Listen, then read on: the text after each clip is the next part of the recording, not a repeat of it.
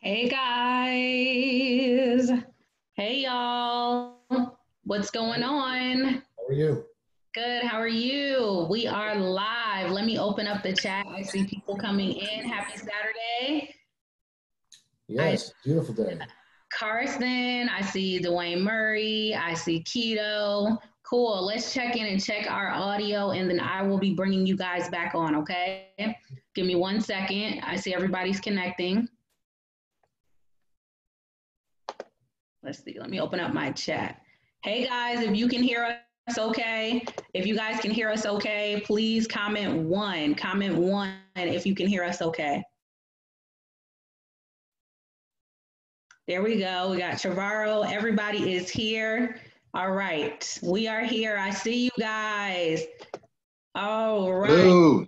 Hey, hey, hey. Hey. Cool, cool, cool, cool. Cool. All right. So we are going to jump right in. I'm going to get into some housekeeping. Panelists, you guys feel free to turn your uh, your cameras on. I'm going to mute you guys out until it's your time to come on. And I am excited. Yeah, I am let's have fun. excited. Yes. Okay, cool. All right, guys. So I'm going to mute y'all out for one second and then I'll bring you on when it's your uh, time to present. And this is going to be amazing. Okay, cool. All right.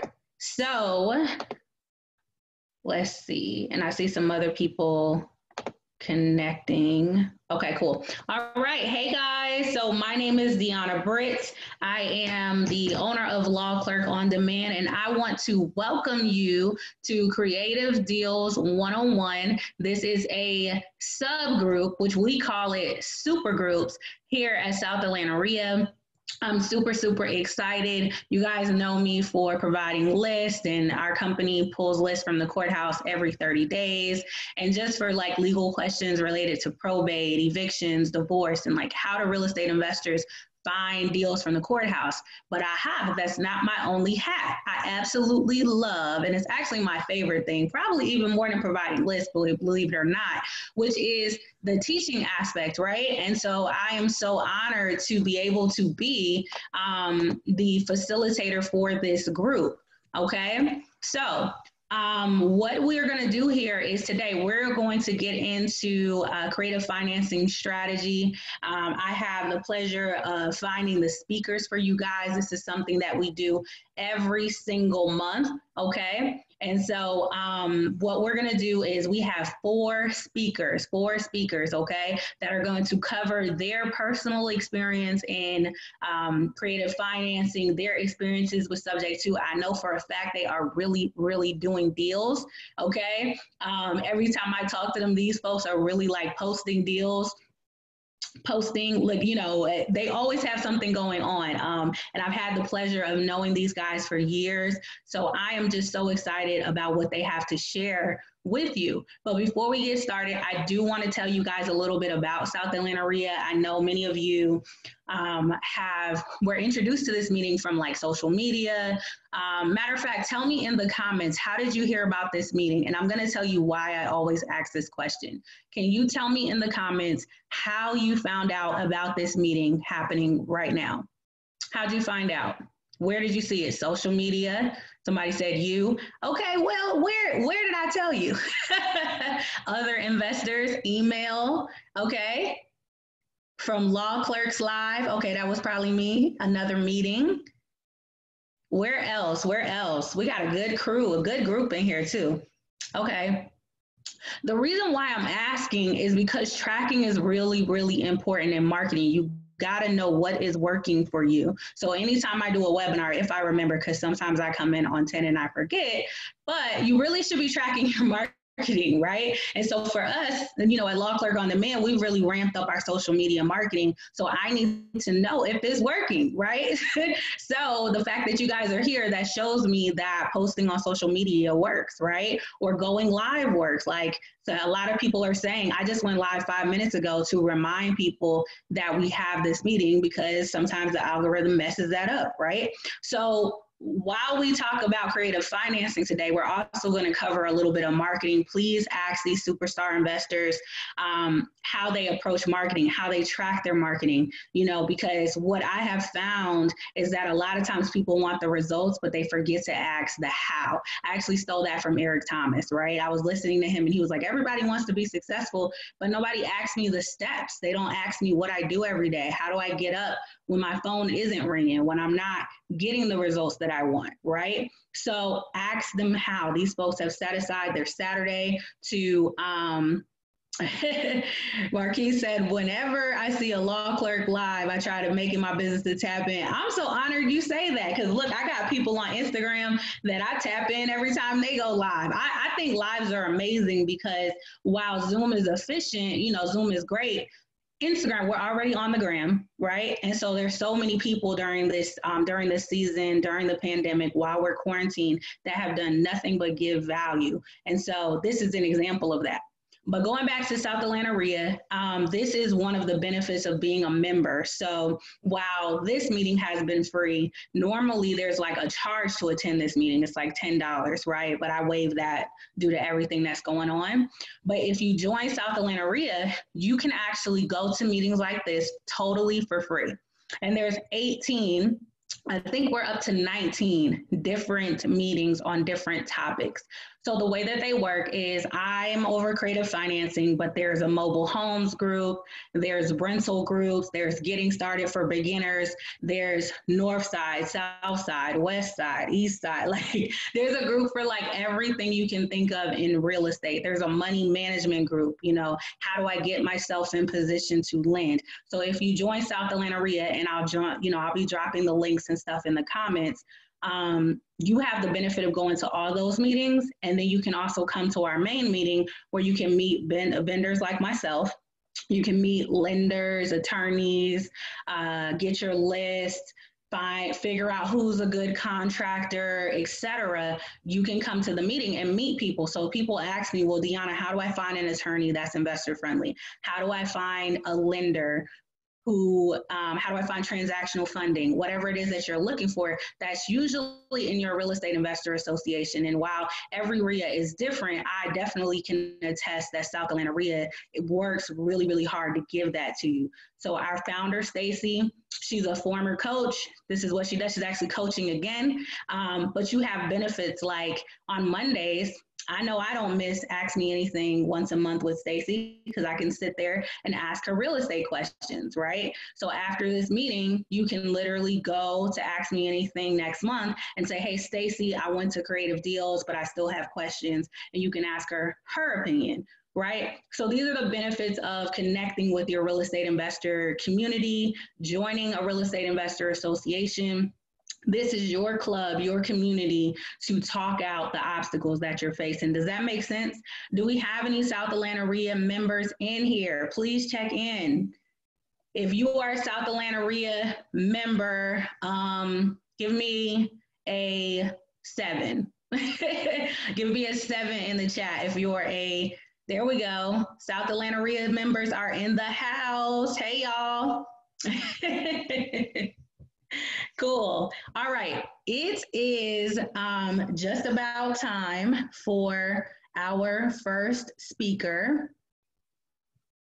Let me just pull this up. Y'all know I got a little schedule over here because I'm overly organized.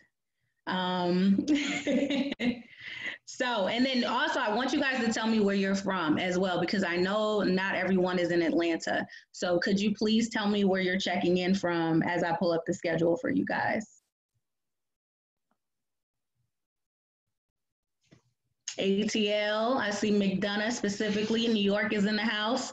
Cool. Locust Grove, I like it. South Atlanta. Okay, if you South Atlanta, then that means I'm going to be seeing you at the main meeting. Okay. Yeah, connect with people in the comments. Um, remember that if you're saying something, you have to do all panelists and attendees. If your question is um, for, like, if you're doing like a community question, make sure you say all panelists and attendees um, on the chat. Also, if you have questions, drop your questions. If you hover over the bottom bar, there's a Q&A button, okay? Once you hover over that, you can type your question to the panelists. The way that today is going to work, we're going to have four panelists speak. They're going to drop heat. It's going to be amazing. At the end, I have asked them to stay on and do like a full panel of Q&A. Okay? So, if time doesn't permit for us to get to your question, I will take note of it and I will make sure that we get to your question at the end, or you can just ask it at the end. So don't write your question in the chat because the chat goes fast. Put it in the Q&A box. Y'all with me?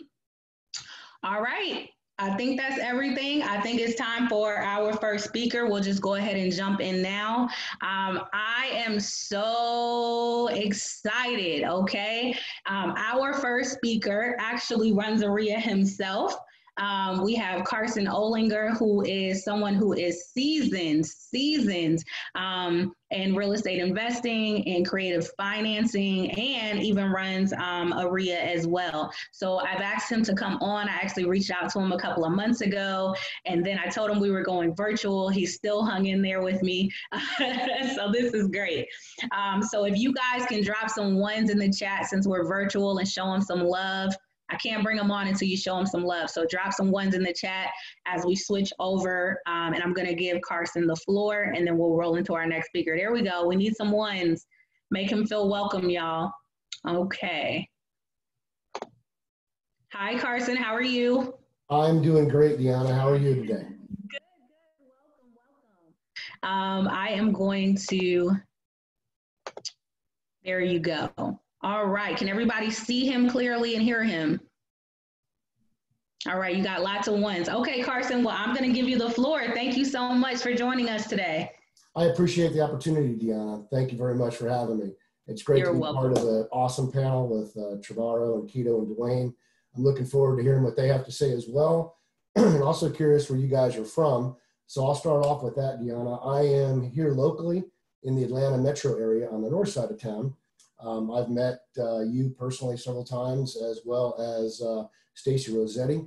As you mentioned, I am president of North Lake REIA, which meets in Gainesville, Georgia.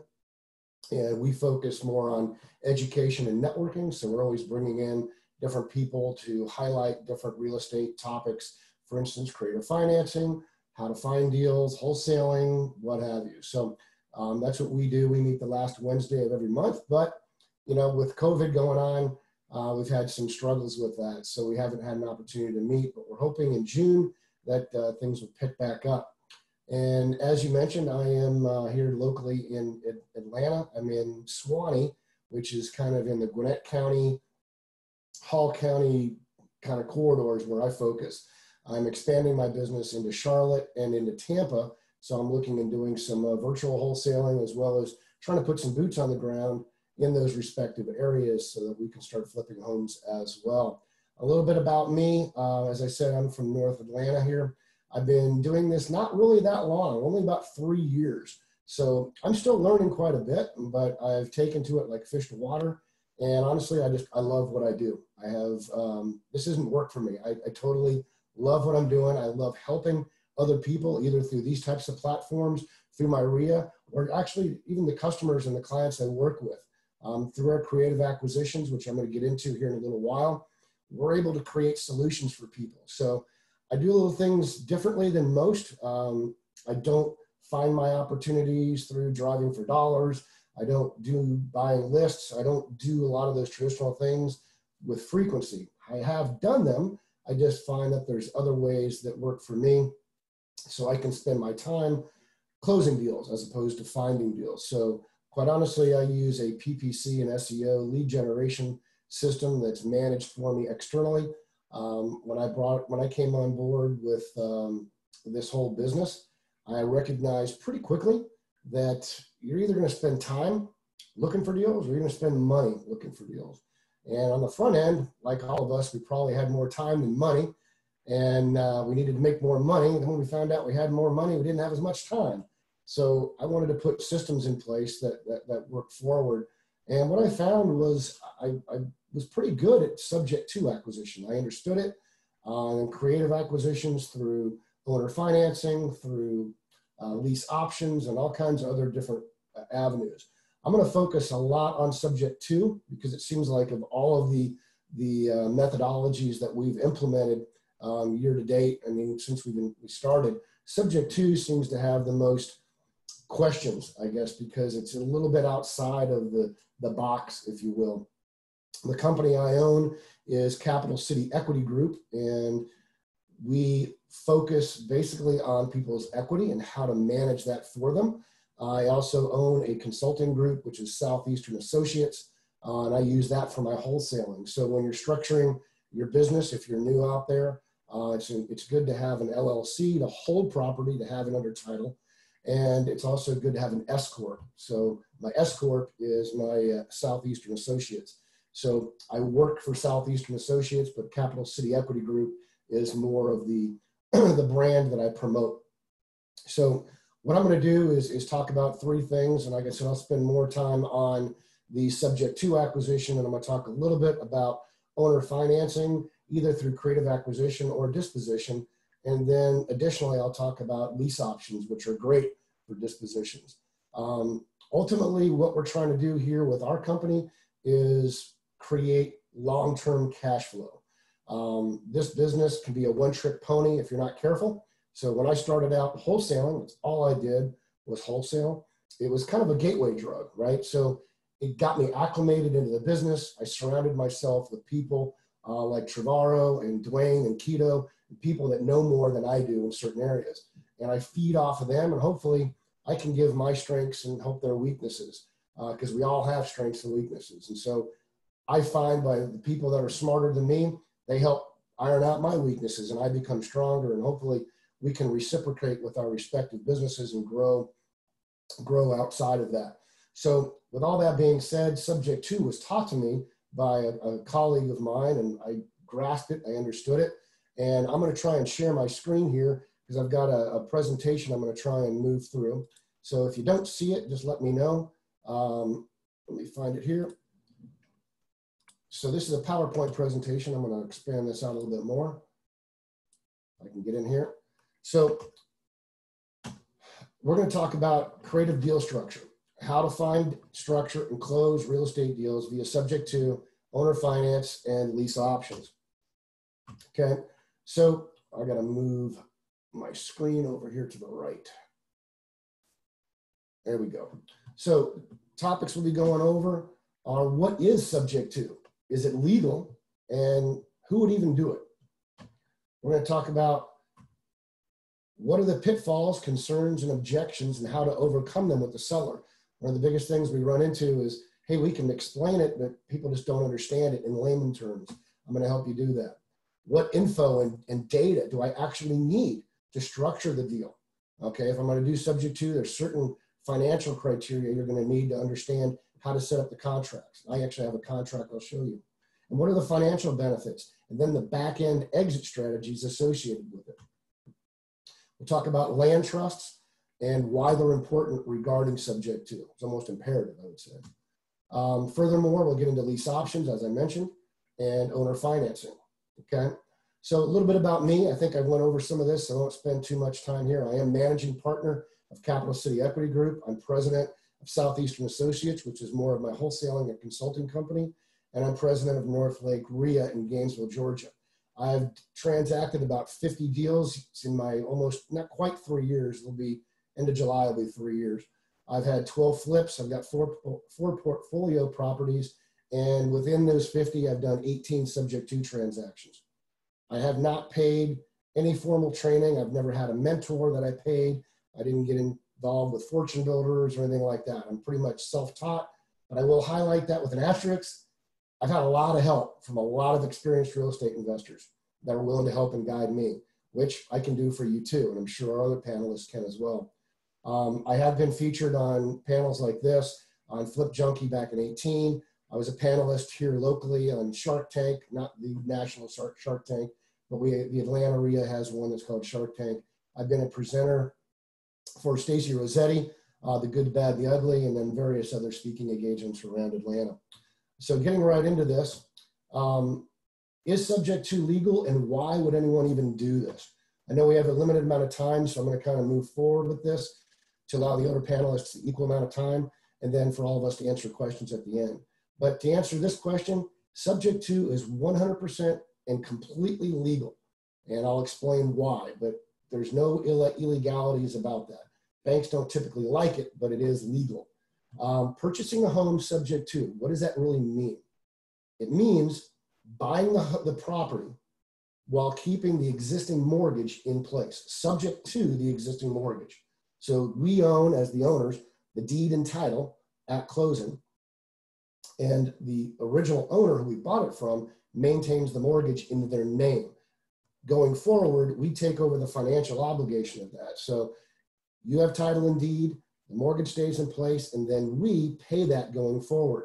And I'm going to talk about the land trust and how that plays into this because a lot of people will think that it's predatory, that, hey, you're taking advantage of these people that might be in a financially disadvantaged situation.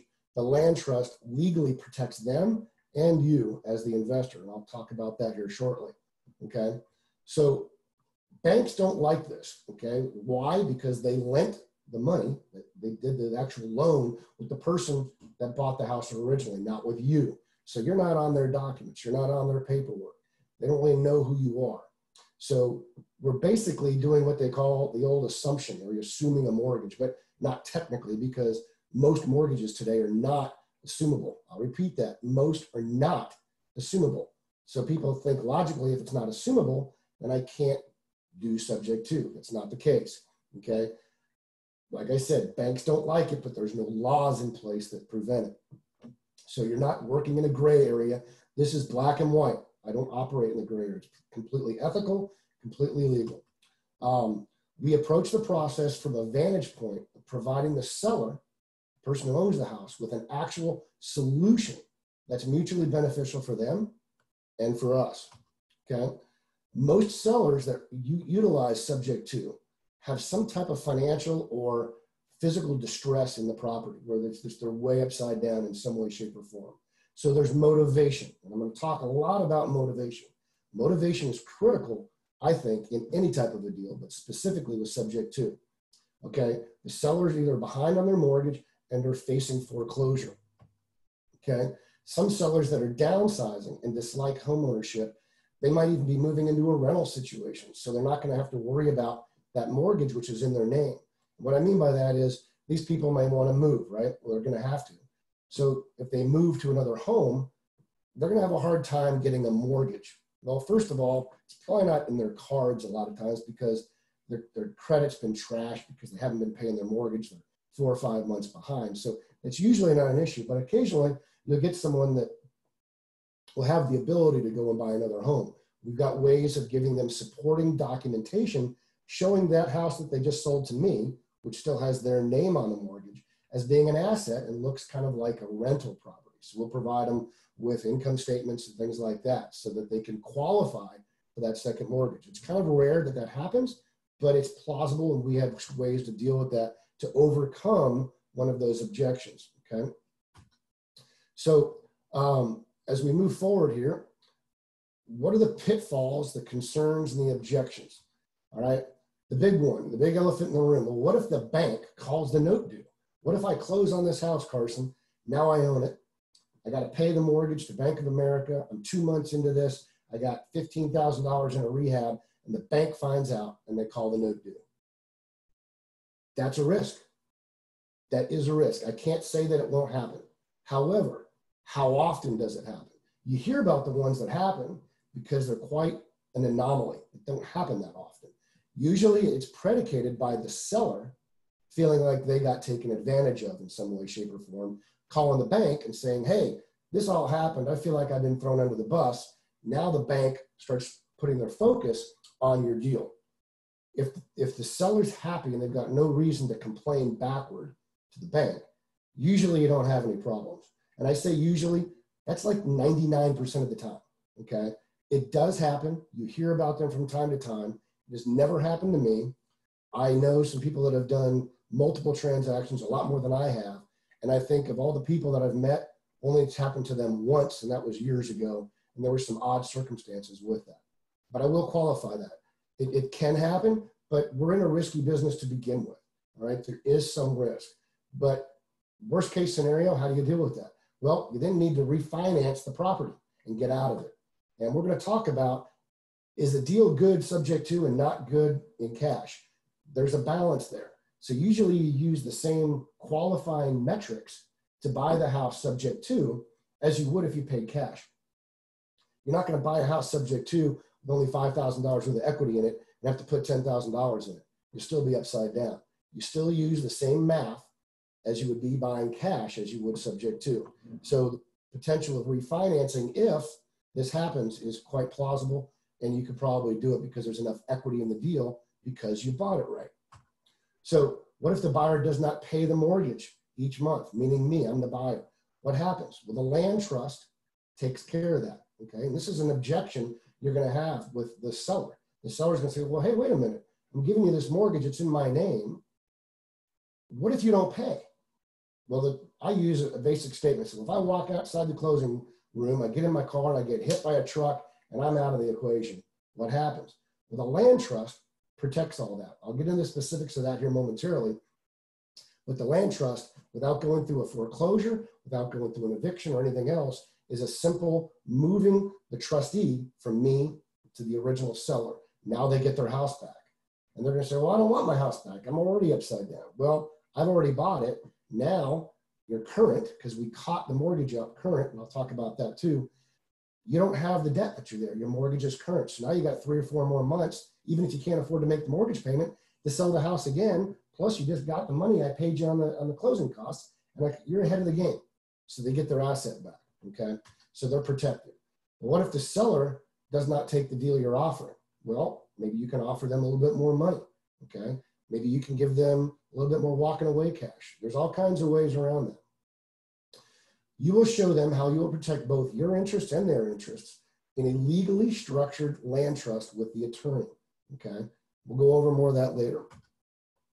You'll show them that they will make a profit when with you and get current on their mortgage, and you will help improve their credit rating long term. What I mean by that is if someone's got a thousand dollar a month mortgage and they're behind five months, they're in the rears five grand. Okay. There are also probably attorney fees, legal fees, and associated, let's call it $7,000. In order to get current, me, the buyer, I've got to bring $7,000 to the table to catch that mortgage current. On top of that, whatever money I'm offering them to walk away from the house, I got to bring that at the closing table plus closing costs. Okay. Hopefully that number is a lot smaller than what a 20% down payment would be. Usually it is. Okay. Because if you think about a subject to deal and someone's getting foreclosed on potentially, they're going to lose everything. They're going to get no money. They're going to be out on the street. They're going to have no asset, meaning the house is gone. The bank's going to take it. And the bank's going to chase them for that difference. So what are we doing? We're catching their mortgage up current. They don't have the debt now. We're taking over the mortgage payment. We're paying them current, improving their credit rating, and at the same time, giving them cash to walk away, which they never would have seen. So we provided a solution, okay? And they can never, ever, ever stay in the house. So do not ever rent the house back to somebody who you just purchased it subject to. A couple of reasons. One, why would you? They can't make the mortgage payment. How are they going to pay you rent? Doesn't make any sense. Secondly, and I think most importantly, is if you ever got in front of a judge after something happened because there was, I don't know what could go wrong. I've, I've heard of these things happening, but you'll be looked at as a predator because now you've taken the person's house and you're renting it to them. So they always need to move out. Okay. so what information, what data, what actual numbers do you need to have from the seller in order to make all this work? Well, one, you need to know what the balance of the mortgage is to date. Okay. And that number is not going to be exact. So let's say they owe $150,000 on the mortgage and they're $5,000 in the rears. Okay. Keep in mind that $5,000 is representative principal and interest. So if you pay $5,000 to the bank at closing, it doesn't mean you got a $145,000 note. You got to see the principal and interest statements to understand how much of that 5,000 is going to go to principal and how much is going to go to interest and how much goes to the, the escrows that are going to be caught up. What is the mortgage terms? You're inheriting this mortgage, you're taking it over. So you need to understand what this is. Is it a balloon mortgage? Do I have to pay this thing off in five years? Is it a variable rate? What's the interest rate? What's the maturity date? How deep are they into that amortization schedule? And what's the monthly breakdown of the payment? Principal, the interest, the taxes, and the insurance, PITI. You need to know what those are. So you can ask them for a current mortgage statement, and it'll probably have all that information on there. Okay. Additional liens or second mortgages, you need to know about those. A lot of times those will come up in second or in um, title searches, but if you're having that conversation, you might want to get that ahead of time. If they're late on their, their mortgage, they might be late on their taxes, they might be late on their water bill, they might be they might have a medical debt tied to the house. Want to know what those are. We're not too concerned about the seconds if they're not associated with banks, for instance, medical loans, but a lot of times they have to be cleared. And here's something else to be aware of. A lot of people that get into these situations may have previously gone through a refinance or a restructuring of their loan, okay? Which means they went to the bank and said, hey, I'm four months behind. Can we restructure this and put all that money on the back end of the loan? What happens there in a lot of cases is the bank sends them a stack of paperwork that they're signing. What they don't realize is they've just signed a second note to HUD. They don't have to pay that back, it kind of sits there. And we found on a couple of these deals where people have restructured their loans and there's thirty, forty thousand dollars sitting back there. They don't pay it on daily or on monthly maintenance, I should say. But when the house goes to sell, you got to clear the mortgage. Plus, when you throw all that money in the back, it has to be taken care of. So it's in essence the number one and the number two. So you need to be aware of those. If they've ever restructured their loan, always look for that HUD document that will probably be in their paperwork, but will also come up in a title search. Okay. Um, how many months behind are they? Are they two months, three months, four months? And that's important to know because banks, today it's a little different with the COVID issue going on, but traditionally they get four or five months behind, then they start getting the letters. Okay. We are seeing the customers coming to us about two to three months before they go to the steps, meaning the courthouse steps. Okay. As opposed to buying a list where you got two or three weeks to react, we got two or three months. So people are a little bit more open to looking for solutions rather than, hey, three weeks from now, this is done. There's no way. They don't see the light at the end of the tunnel. So it gives you more time because it takes about a couple of weeks at the best to get this done. So how many months behind are they? You want to know that because that's also going to tell you how much money they owe to some degree. Um, have the seller, and this is important to do, have the seller get in touch with their bank and just say simply this I might be coming into some extra money and I can probably catch my mortgage up current. Can I please get a reinstatement letter? It's called a reinstatement letter. They need to get that from their bank. Don't tell them someone's going to buy the house. Don't tell them anything other than I may be getting some extra money. I want to know how much my reinstatement letter is. What is that? That is how much money do I need to pay tomorrow to catch my, my bank note up current? Okay. That's going to be the money I got to bring to the closing table. The, the bank will provide that information. Let's say today's May 16th. They'll say it's worth, you need $7,520, and that number is good till May 30th. After May 30th, it's going to accrue at $35 a, day based on interest. So now you'll know what your number is, okay, that what you've got to bring to the table and how much time you've got for that number to be good. Reinstatement letter is very, very important, okay? Then gain a copy of their most recent mortgage statement. I alluded to that earlier. That way you have who the bank is, the loan number, and all that concerning their status, okay? Now, subject to structure of the contract, okay? I'm gonna show you contract in just a minute and how we work that. Make sure the contract, your actual contract with the seller, shows the loan number that we're talking about, the interest rate and the PITI payment, as well as the payoff. Always reflect the subject to amount as approximate. Don't ever say exact because if you close one day before the next, those numbers can go off by 30, 60, $100, okay? Plus, there might be some fees that come in there. But if you put approximate, it's going to give you some leeway so that you don't have to rewrite your contract.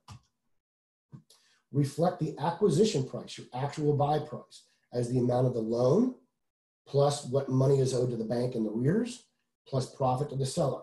So if there's $150,000 owed to the bank, and $5,000 owed in the rears, plus they want 5,000, you're going to make sure all of those things are reflected, okay?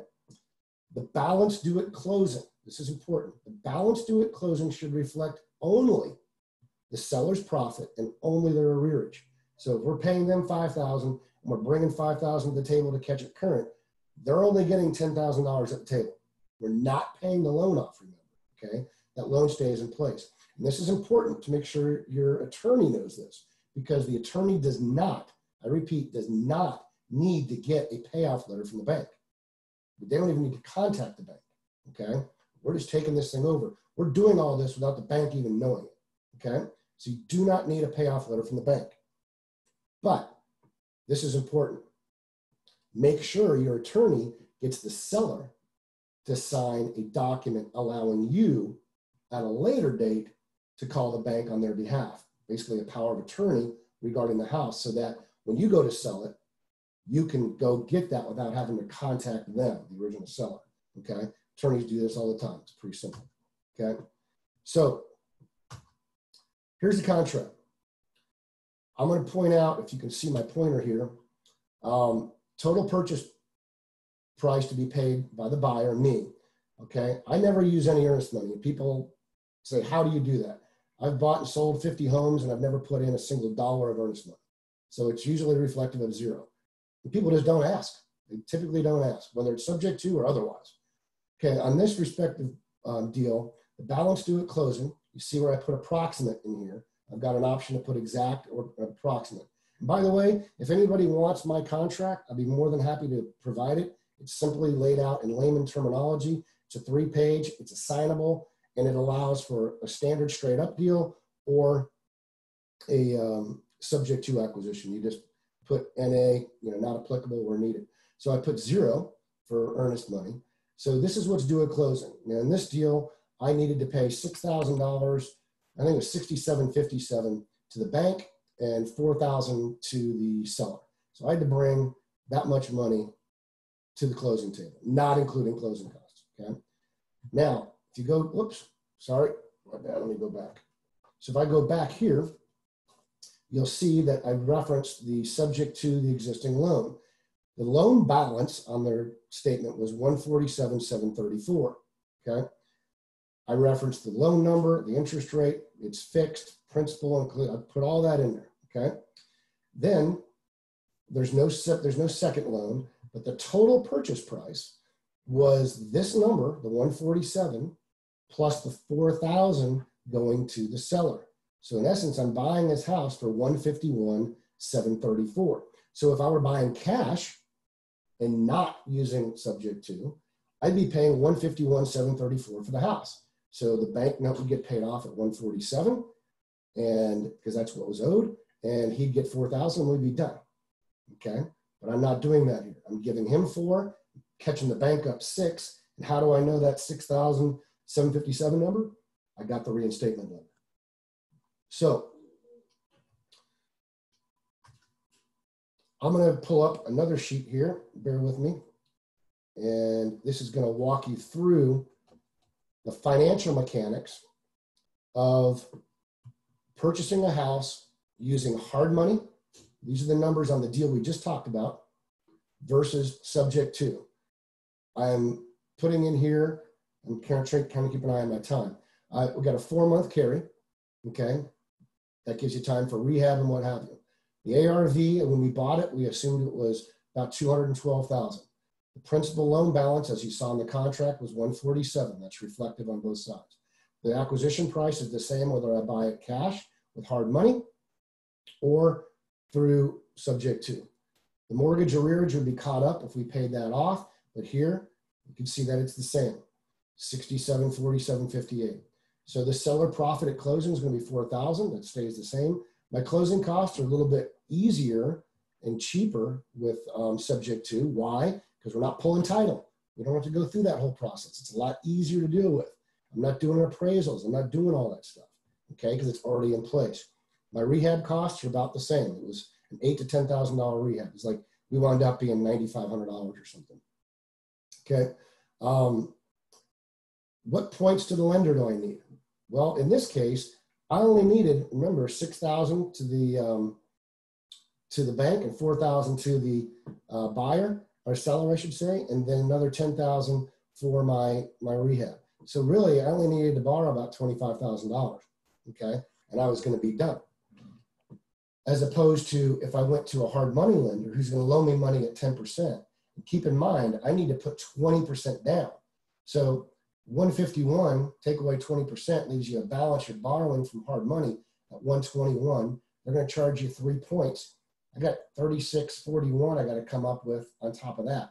Well, so now I've got to come up with a gap of about $30,000 from my 151 to 121. Plus, I got to come up with the 3641 in points, 700 on the appraisal and all the other junk I got to deal with.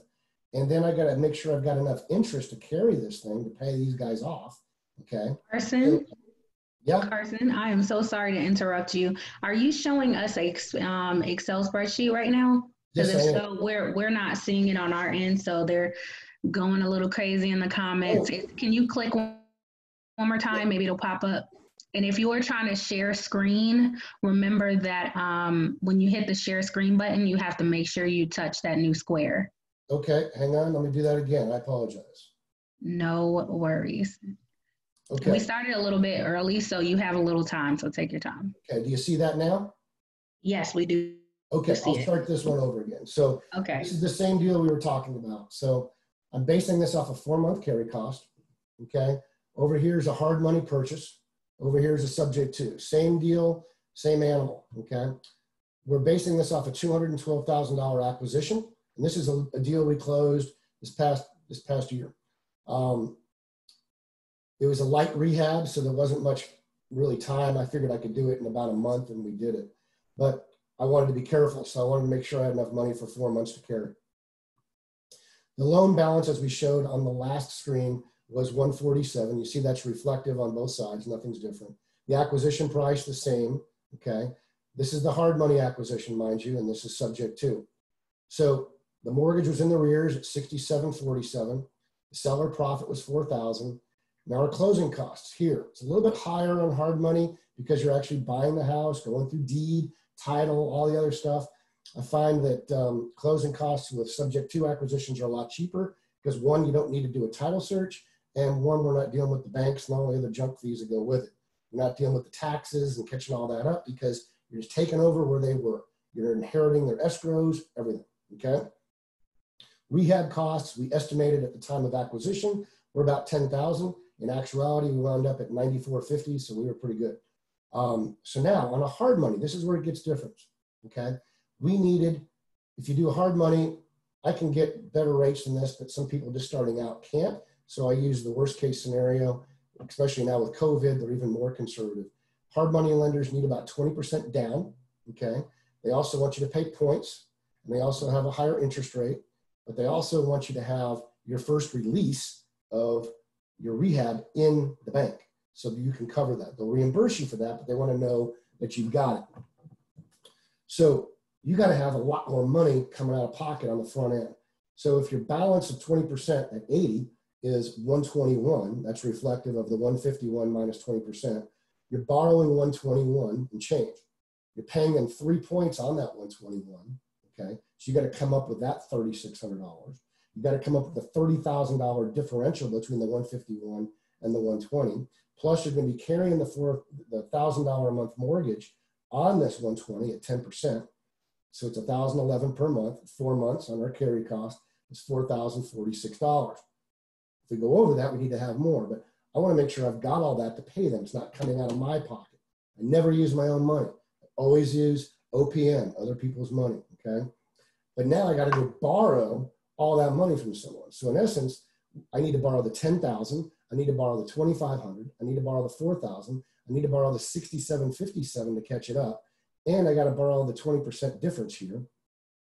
$700 in funds. All you add all that up, it's about $50,488 I'm borrowing from somebody, right? Now I got to pay them interest on that. Okay. So if I'm doing that at 10%, then I'm 477 a month on carry.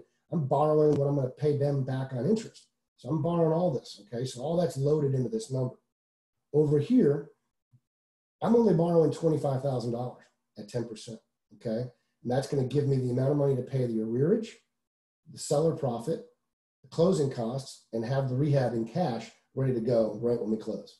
Okay. Plus a little extra to carry the mortgage payment that's already out there which in this case was about a thousand bucks, which is almost the same as what we're paying over here on hard money anyway. Okay, so my carry on the loan is 833 for them, but in this case, since it's such a short deal, I threw it on the back end. So I'm not going to pay a monthly carry. I'm going to put it on the back end, and I'll guarantee you four months. If I sell it in three days, you'll get four months of interest because 25 grand, people really aren't too keen on wanting to lend 25 grand for one month and make 800 bucks. If you give them $4,000 or close to it, they're gonna be pretty happy, okay? Um, so that's what I did. So what I needed to come to closing table with the subject to was only $12,800. That's, that's reflective in the 6750, 6747, the 4,000, the 2,048 in closing costs, and then um, that was done. I had everything I needed. Okay, closed the house out. Now I own it. I borrowed the 25. The balance of that, I got $10,000 to do the rehab with. Okay, over here, I had to come to the table with $50,488 to pay the hard money, the 20%. There are three points, closing costs, because I'm buying the house here, doing title search, all the other jazz, right? So now you add everything up I owe. I'm in the I'm in this thing for 149.54. Over here, once I pay that 67.47 down from this 147.734 that was on the balance, I only owe 141 when I go to sell the house down the road because I'm current and that's what's left. So now if you look at the profit model on this, we actually sold it. We were going to sell it at 212. We sold it actually at 207. So based on 207, we made $40,167 on that deal. We would have made money doing it hard money, but we had jumped through a lot of hoops, had to borrow a lot more money, been a lot more leverage, and had to go through releases and everything else. And we would have only made $26,000. Okay. So what does that really translate to? I made 155% on my cash on cash return, meaning $40,000 over my 25,000 that I borrowed. Okay. 26,000 on the 180,000 I borrowed. That's the difference. That's the power of subject to. Okay. My risk was substantially less. Less. I was in and out of the deal very, very quickly. And I'm willing to share this later after we get done with this. I'm going to look at one more screen here. So I'm going to stop sharing for one second and come back to the presentation. And let's see, where is it? Here it is. And Carson, are you ready to? Um, I think you have like one or two questions, and then we'll be getting ready for the next uh, speaker. So just giving you a heads up um, sure. when you're ready for questions. Okay. Well, I'll I'll leave it there with the subject to. I won't get too much more into the uh, owner financing and what have you. But make sure you use an attorney that knows how to structure subject to deals, and always put the deal into a land trust. They're very important it kind of gives some anonymity to you and to them. It looks as if maybe they sold the house and a, and a, uh, a management company's running it. So it kind of gives an umbrella, if you will. There's advantages to having it. And make sure your attorney does not need to get a payoff letter and get a signed letter. I alluded to this earlier from the seller at closing, allowing you to request the payoff after you are done with it and want to sell it. Okay. And you keep the insurance intact. You just put your name on them with an additional insured. They'll help you with that. And you actually need to know where to send the monthly payment. You got to know where that's going to go. You could do that, you know, through your own bank to bank. You don't have to worry about sending in a check. And let them know that they still get to write off the interest on their taxes because you don't own the mortgage, it's theirs. All right. Um, and when the escrows are all done, you end up getting an escrow check back. Okay. Because you structured all that on the front end. All right. So the rest of it's about owner financing. I'll stop sharing at this point here. Um, Okay. Okay. Yeah. I'm going to jump back in. And I think um, what we can do is during the panel, uh, we can get more into that as well. Um, but I wanted to get a couple questions in, which some of them are very similar. Um, and then we will jump in. But thank you for that. You guys, can we give Carson some ones in the chat? Because he killed that presentation. Ones in the chat.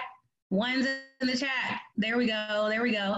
Okay, cool. Thank you so much for that. That was really, really good. Um, the main question that we're getting, like people are like screaming in the Q and A box, so they want to know what can they have access to your to your contract? And I think you you mentioned that you would make that available. Yes, absolutely. I'll be more than happy if you want to email me directly at Carson at capcityeg.com. That's Carson at capcityeg.com. Uh, just say, you know, just reference our, our webinar here and contract, and I'll be more than happy to send you the contract I use. Okay, you said Carson at C A P C I T Y E as in Echo, G as in George.com. That is correct. Got it. Okay, guys, I just put that in the chat. Um, last two questions. Somebody asked for a copy of the slides. Yes. Do you do copies of your slide? Okay. Yep. Okay, so just email him, guys, and he will give you all the sauce. Okay, so that's done. And some okay, um, this equity question, let's save that for the panel. Um, so what I'm going to do is I'm going to leave your question up here and we will get into that on the panel because I have a feeling all of the guys are going to weigh in on this equity question. Okay. And okay. then someone asked about the spreadsheet. They can email you for the spreadsheet too, right? Sure. Okay, cool. You rocked it. Thank you so much.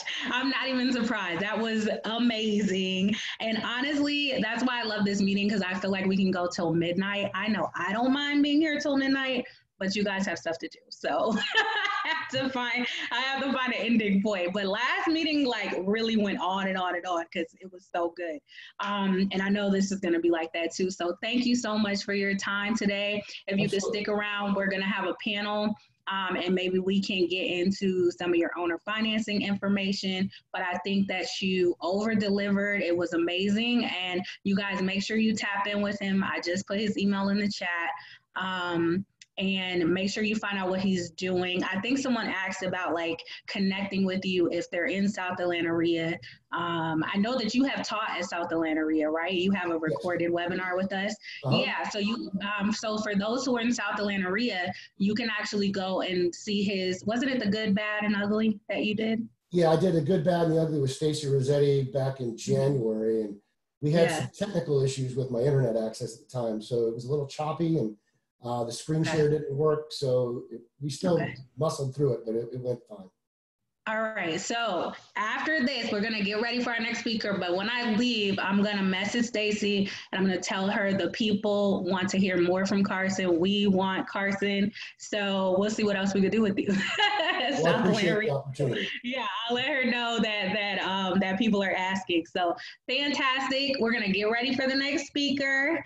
Um, but thank you so much. And then we'll get even more, we'll ask you a million questions in, in like an hour. Okay? okay? Thank you. Okay. Thank you. Thank you. Thank you. All right.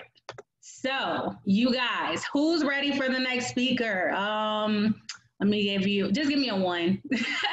give me a one in the chat. He's not coming until I see a gazillion ones. I need a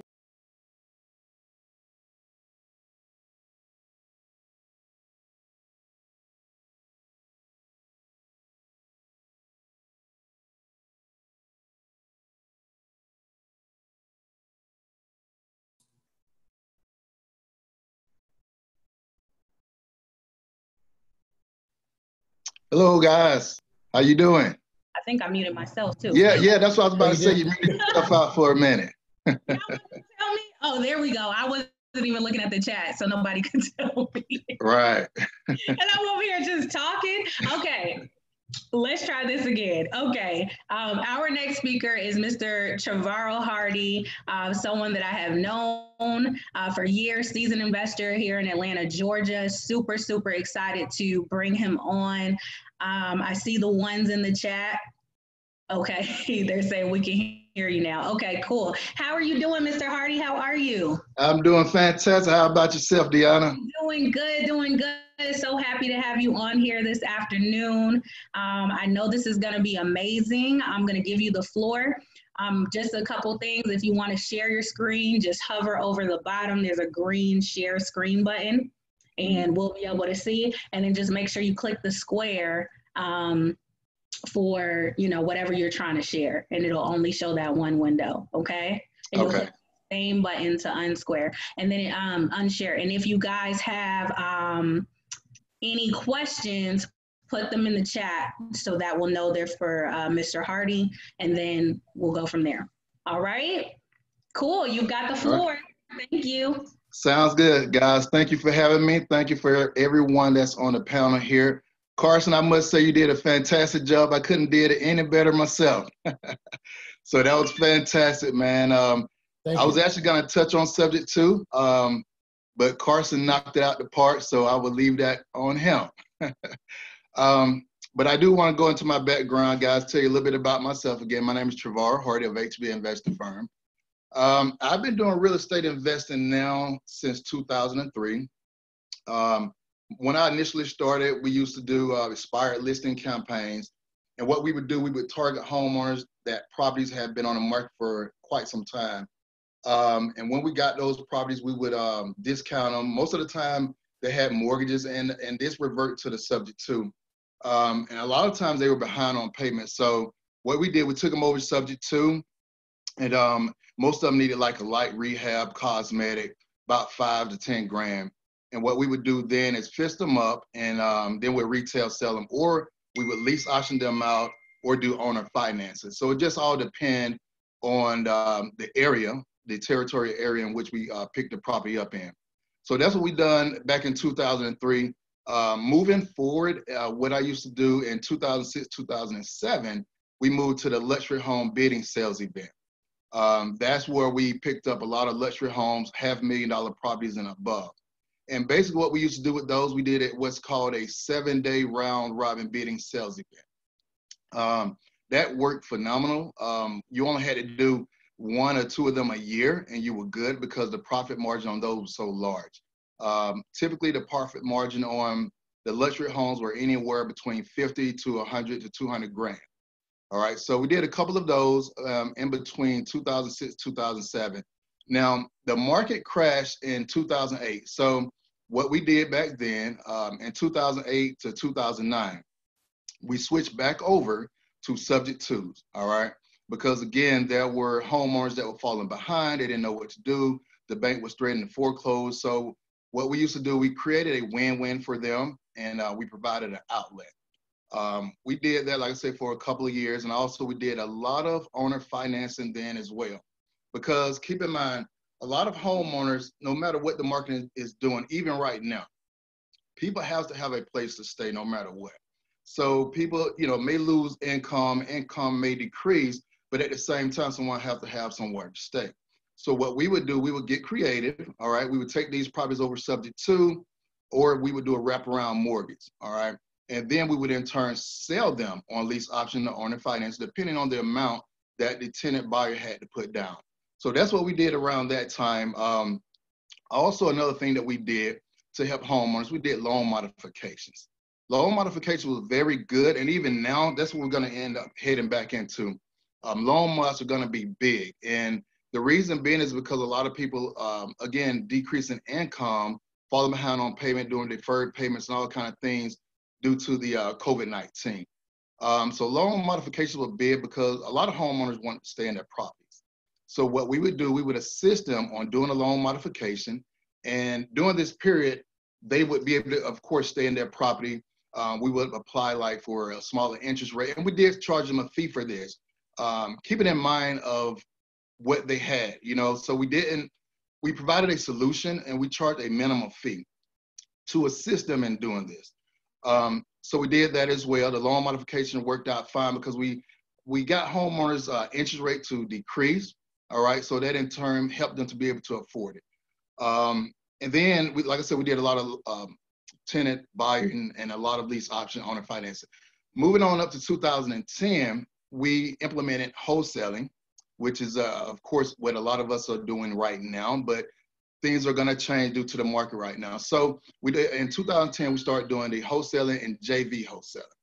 Um, wholesaling is basically when you buy a property. All you guys probably know that's on the on the call right now. Wholesale just when you buy a property for a, an amount and then you put it on a contract you turn around and sell it for two to 10 grand more, maybe even more, depending on the profit margin and uh, the discount that you got on it. So we do a lot of that. We did a lot of that in 2010. Then the JV wholesaling is when you partner up with um, other investors such as Dewayne, um, Kito, or anyone that has a property that they're selling. It may not even be a wholesale deal. It can be uh, a rental property. It can be an uh, Airbnb. It can be anything. I mean, it can be any type of properties. But basically, you you you do a contract with that individual.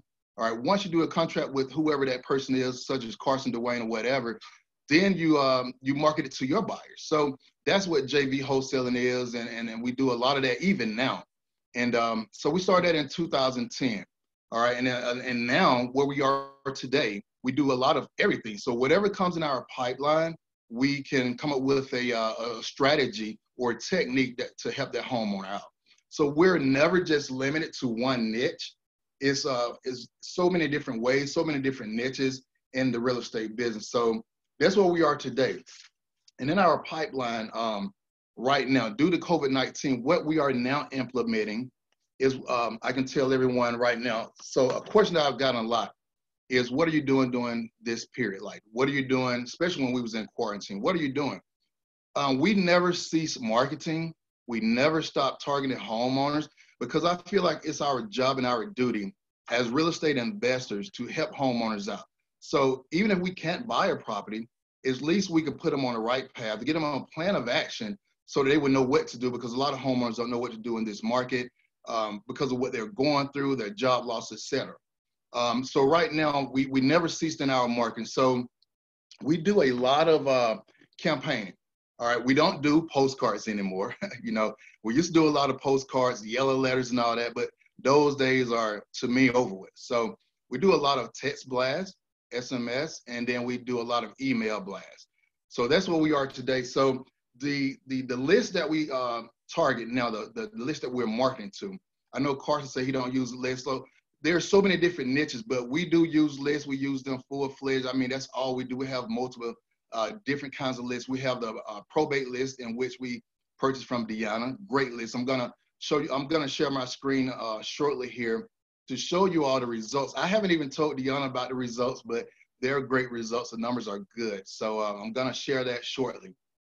But um, basically, the list that we hit is absentee owners. All right, that's that's one we target the absentee owner list and a lot of people may not know what absentee owners are, but essentially what that is is that's a homeowner. Um, when you look up the tax records, the mailing address is different from the street address or the property address. So that is considered an absentee owner. All right. Um, out of state absentee owner is when that mailing address is out of state of where that property address is. So what happens is most of the time absentee owners are mostly motivated to to sell their property, especially if it's vacant or if they're going through an eviction process with uh, their tenant buyers or um, whatever they may be going through. A lot of times, these absentee homeowners are more motivated. They're going to be more motivated than an than a average homeowner or a, a, a, a occupied on homeowner property because they have two properties most of the time. They have more than um, two properties sometimes. So that's why we target these homeowners. Um, they are very motivated, and that's one of our lists that we use. Um, another list that we that we purchase is the vacant abandoned properties. All right, this is properties that have been deemed through the USPS as a vacant property due to uh, from the mail carrier. So these properties are vacant. A lot of times they have uh, tax liens against them. They have um, the code violation, all kind of violations against them. So we target those uh, abandoned property owners. Uh, most of the time, a lot of them, I mean, you know, believe it or not, we rented some properties that the homeowner didn't even know they owned it. They didn't even know that they still had it. They thought the city took it over. They thought the county bought them out or whatever because of eminent domain, things like that. So um, in those situations, those homeowners don't care like how much they get for the property, just give them anything. And, and at, at the same time, we're creating a win-win because we're helping them to get that property off their off their shoulders. We're helping them with the liens that's against the property, tax lien, codes violation, whatever it is, to get it paid off. So we're creating a win-win. and we're providing a solution for those homeowners. All right. Another list that we target is right now is uh, the pre-foreclosure list. All right, we've uh, we've ran several campaigns because of what's going on, but not just that, but we have always implemented pre-foreclosures just because that's a a good list to hit. And a lot of these homeowners, um, most of them are just ready to throw the house away. You know, they get these letters from the um, from the the lender. You know, they may have a first and second mortgage on it, and so we may you know we may short that second mortgage so there'll be a little bit more equity in the property then we'll give the homeowner some money for moving expenses or whatever the case may be. Medical bills, there's just so many different reasons for homeowners to sell um, when they're in these situations in pre-foreclosure. So what we do is provide a solution for them in those situations. Um, and another a question that we got about the pre-foreclosure list, where do we get it from? There's a list source that we use that's very good and um, and and the list is is producing great numbers. So if someone asks a question in the Q and A, I'll, I'll definitely provide that um, or via email. So, um, but that, that's a great list pre foreclosure. And and as I mentioned before, with these homeowners, a lot of times they don't know what to do. Um, they get these threatening letters from the lender, um, and they don't know whether to just let them have it. They don't know anything about cash for keys. They don't know anything about how they can just stop the foreclosure process by filing bankruptcy and that's just to halt it, you know, just so they can save their property and then come up with a strategy or technique or some type of outlet to sell that property. So it's just delaying it, but at the same time, giving them more time to get that property sold. So a lot of homeowners don't have this information, and that's what we provide in regards to that. Um, another list that we target, of course, the probate. All right, we just started this back up. We used to do it years ago, the probate list um, that we purchased from DeOnna. I partnered up with Carlos Carson on some of those, and um, we we did very well on those lists. And so now we just crunk it up. We just crunk another list up for that. Actually, let me see if I can share my screen. Um, May the 2nd. Let me see if I can share my screen real quick, guys. Um, let's see here.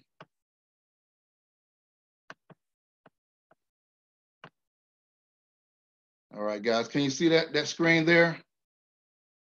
All right, cool. All right, so this is a list, guys, that we just that we just um that we just target. Like I said, we started this on May the 2nd. And with the results you can see here, let me just explain briefly here. This is um this is the the program and software that we use for all of our mailing campaigns, all of our marketing.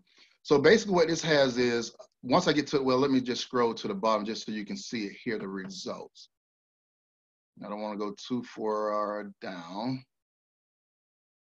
All right, so as you can see with this with this uh, campaign, we just just crunk it up here.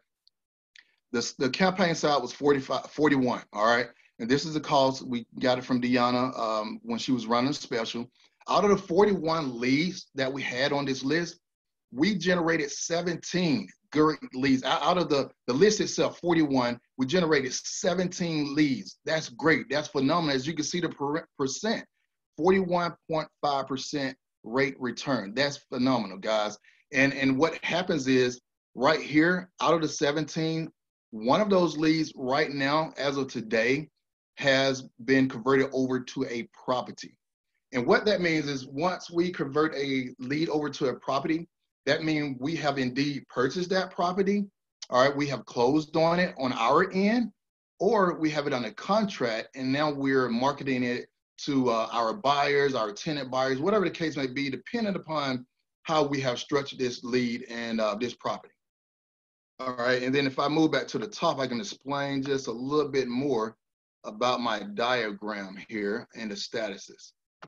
All right, so as you can see here, what this means is out of the 41, all right, there's five contact attempts, uh, contact attempt two. So what we do, the first thing we do when we get a lead, we do what's called an SMS broadcast, which is, which is a text blast, all right?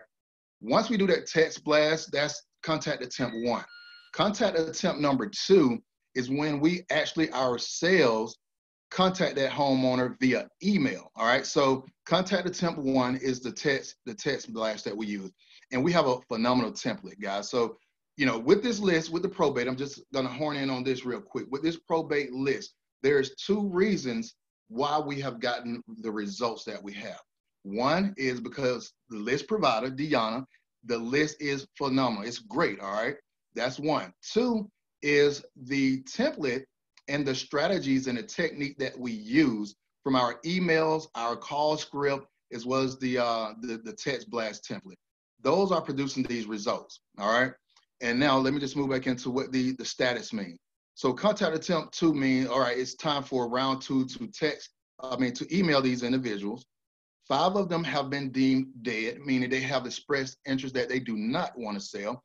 However, with our campaign and our workflow and our marketing, what we do, once we mark a lead as dead, we still target that homeowner. We still contact them six to six months to a year later.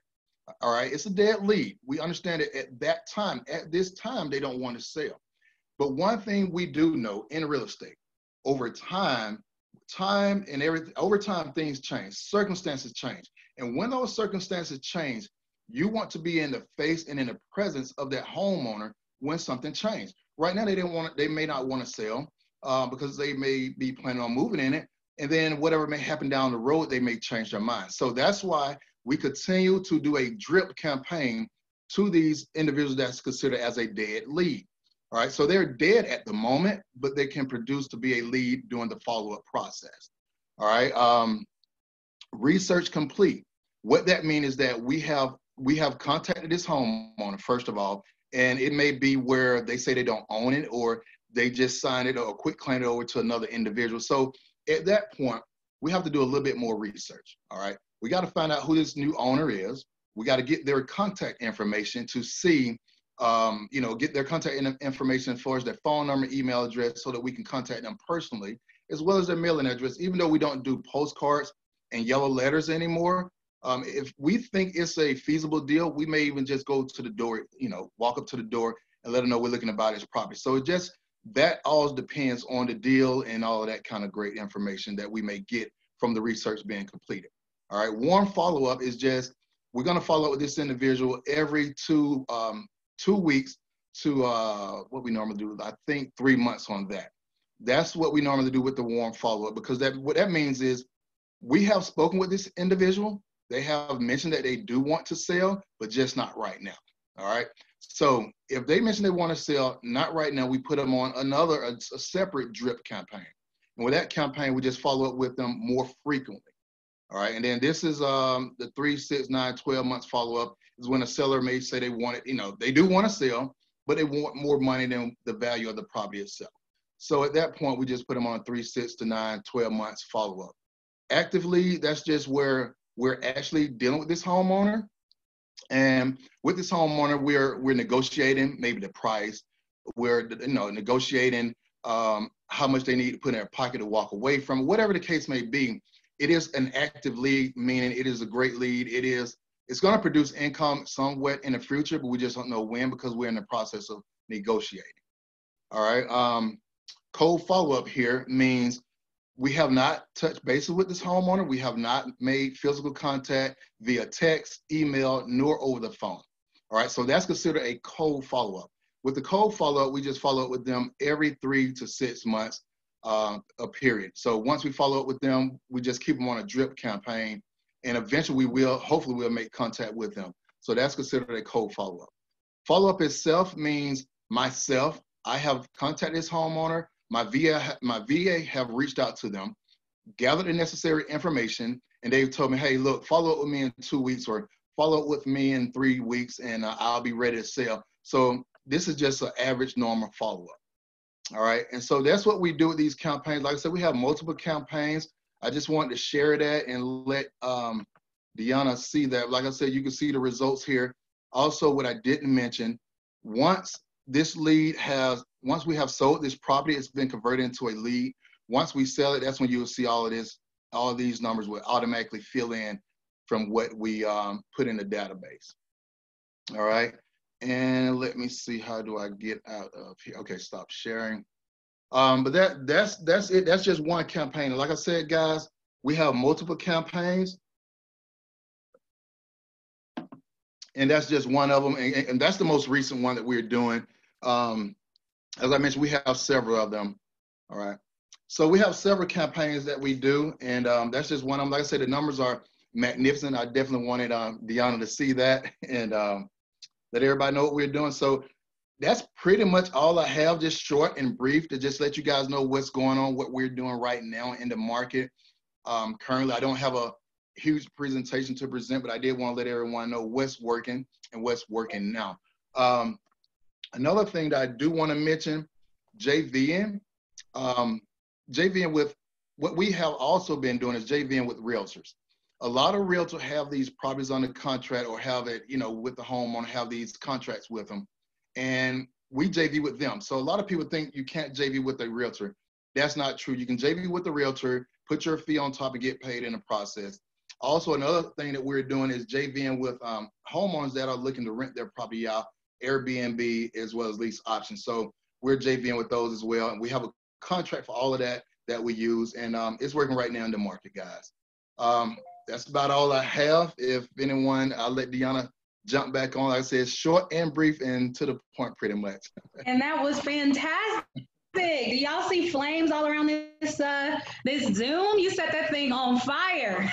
Appreciate it. Thanks a lot, guys. good. I was not expecting that, but that's what I like to see because at the end of the day, you know, we provide the information, but there's nothing like investors showing you, look, this is how I worked my list. And I've seen that where folks come to the table and they're like, DeOnna, I got a list and I just froze. I didn't know what to do. And I'm like, no, you can't do that. You invested in it. So thank you so much for really, you gave us the game, right? If they were paying attention, that's how you organize a marketing campaign. And you don't hear that every day. Like folks say market, folks say text, folks say do this, but you're like, okay, but how? And I really feel like you gave us step by step. So I can't thank you enough on behalf of everybody. I see them going crazy in the chat.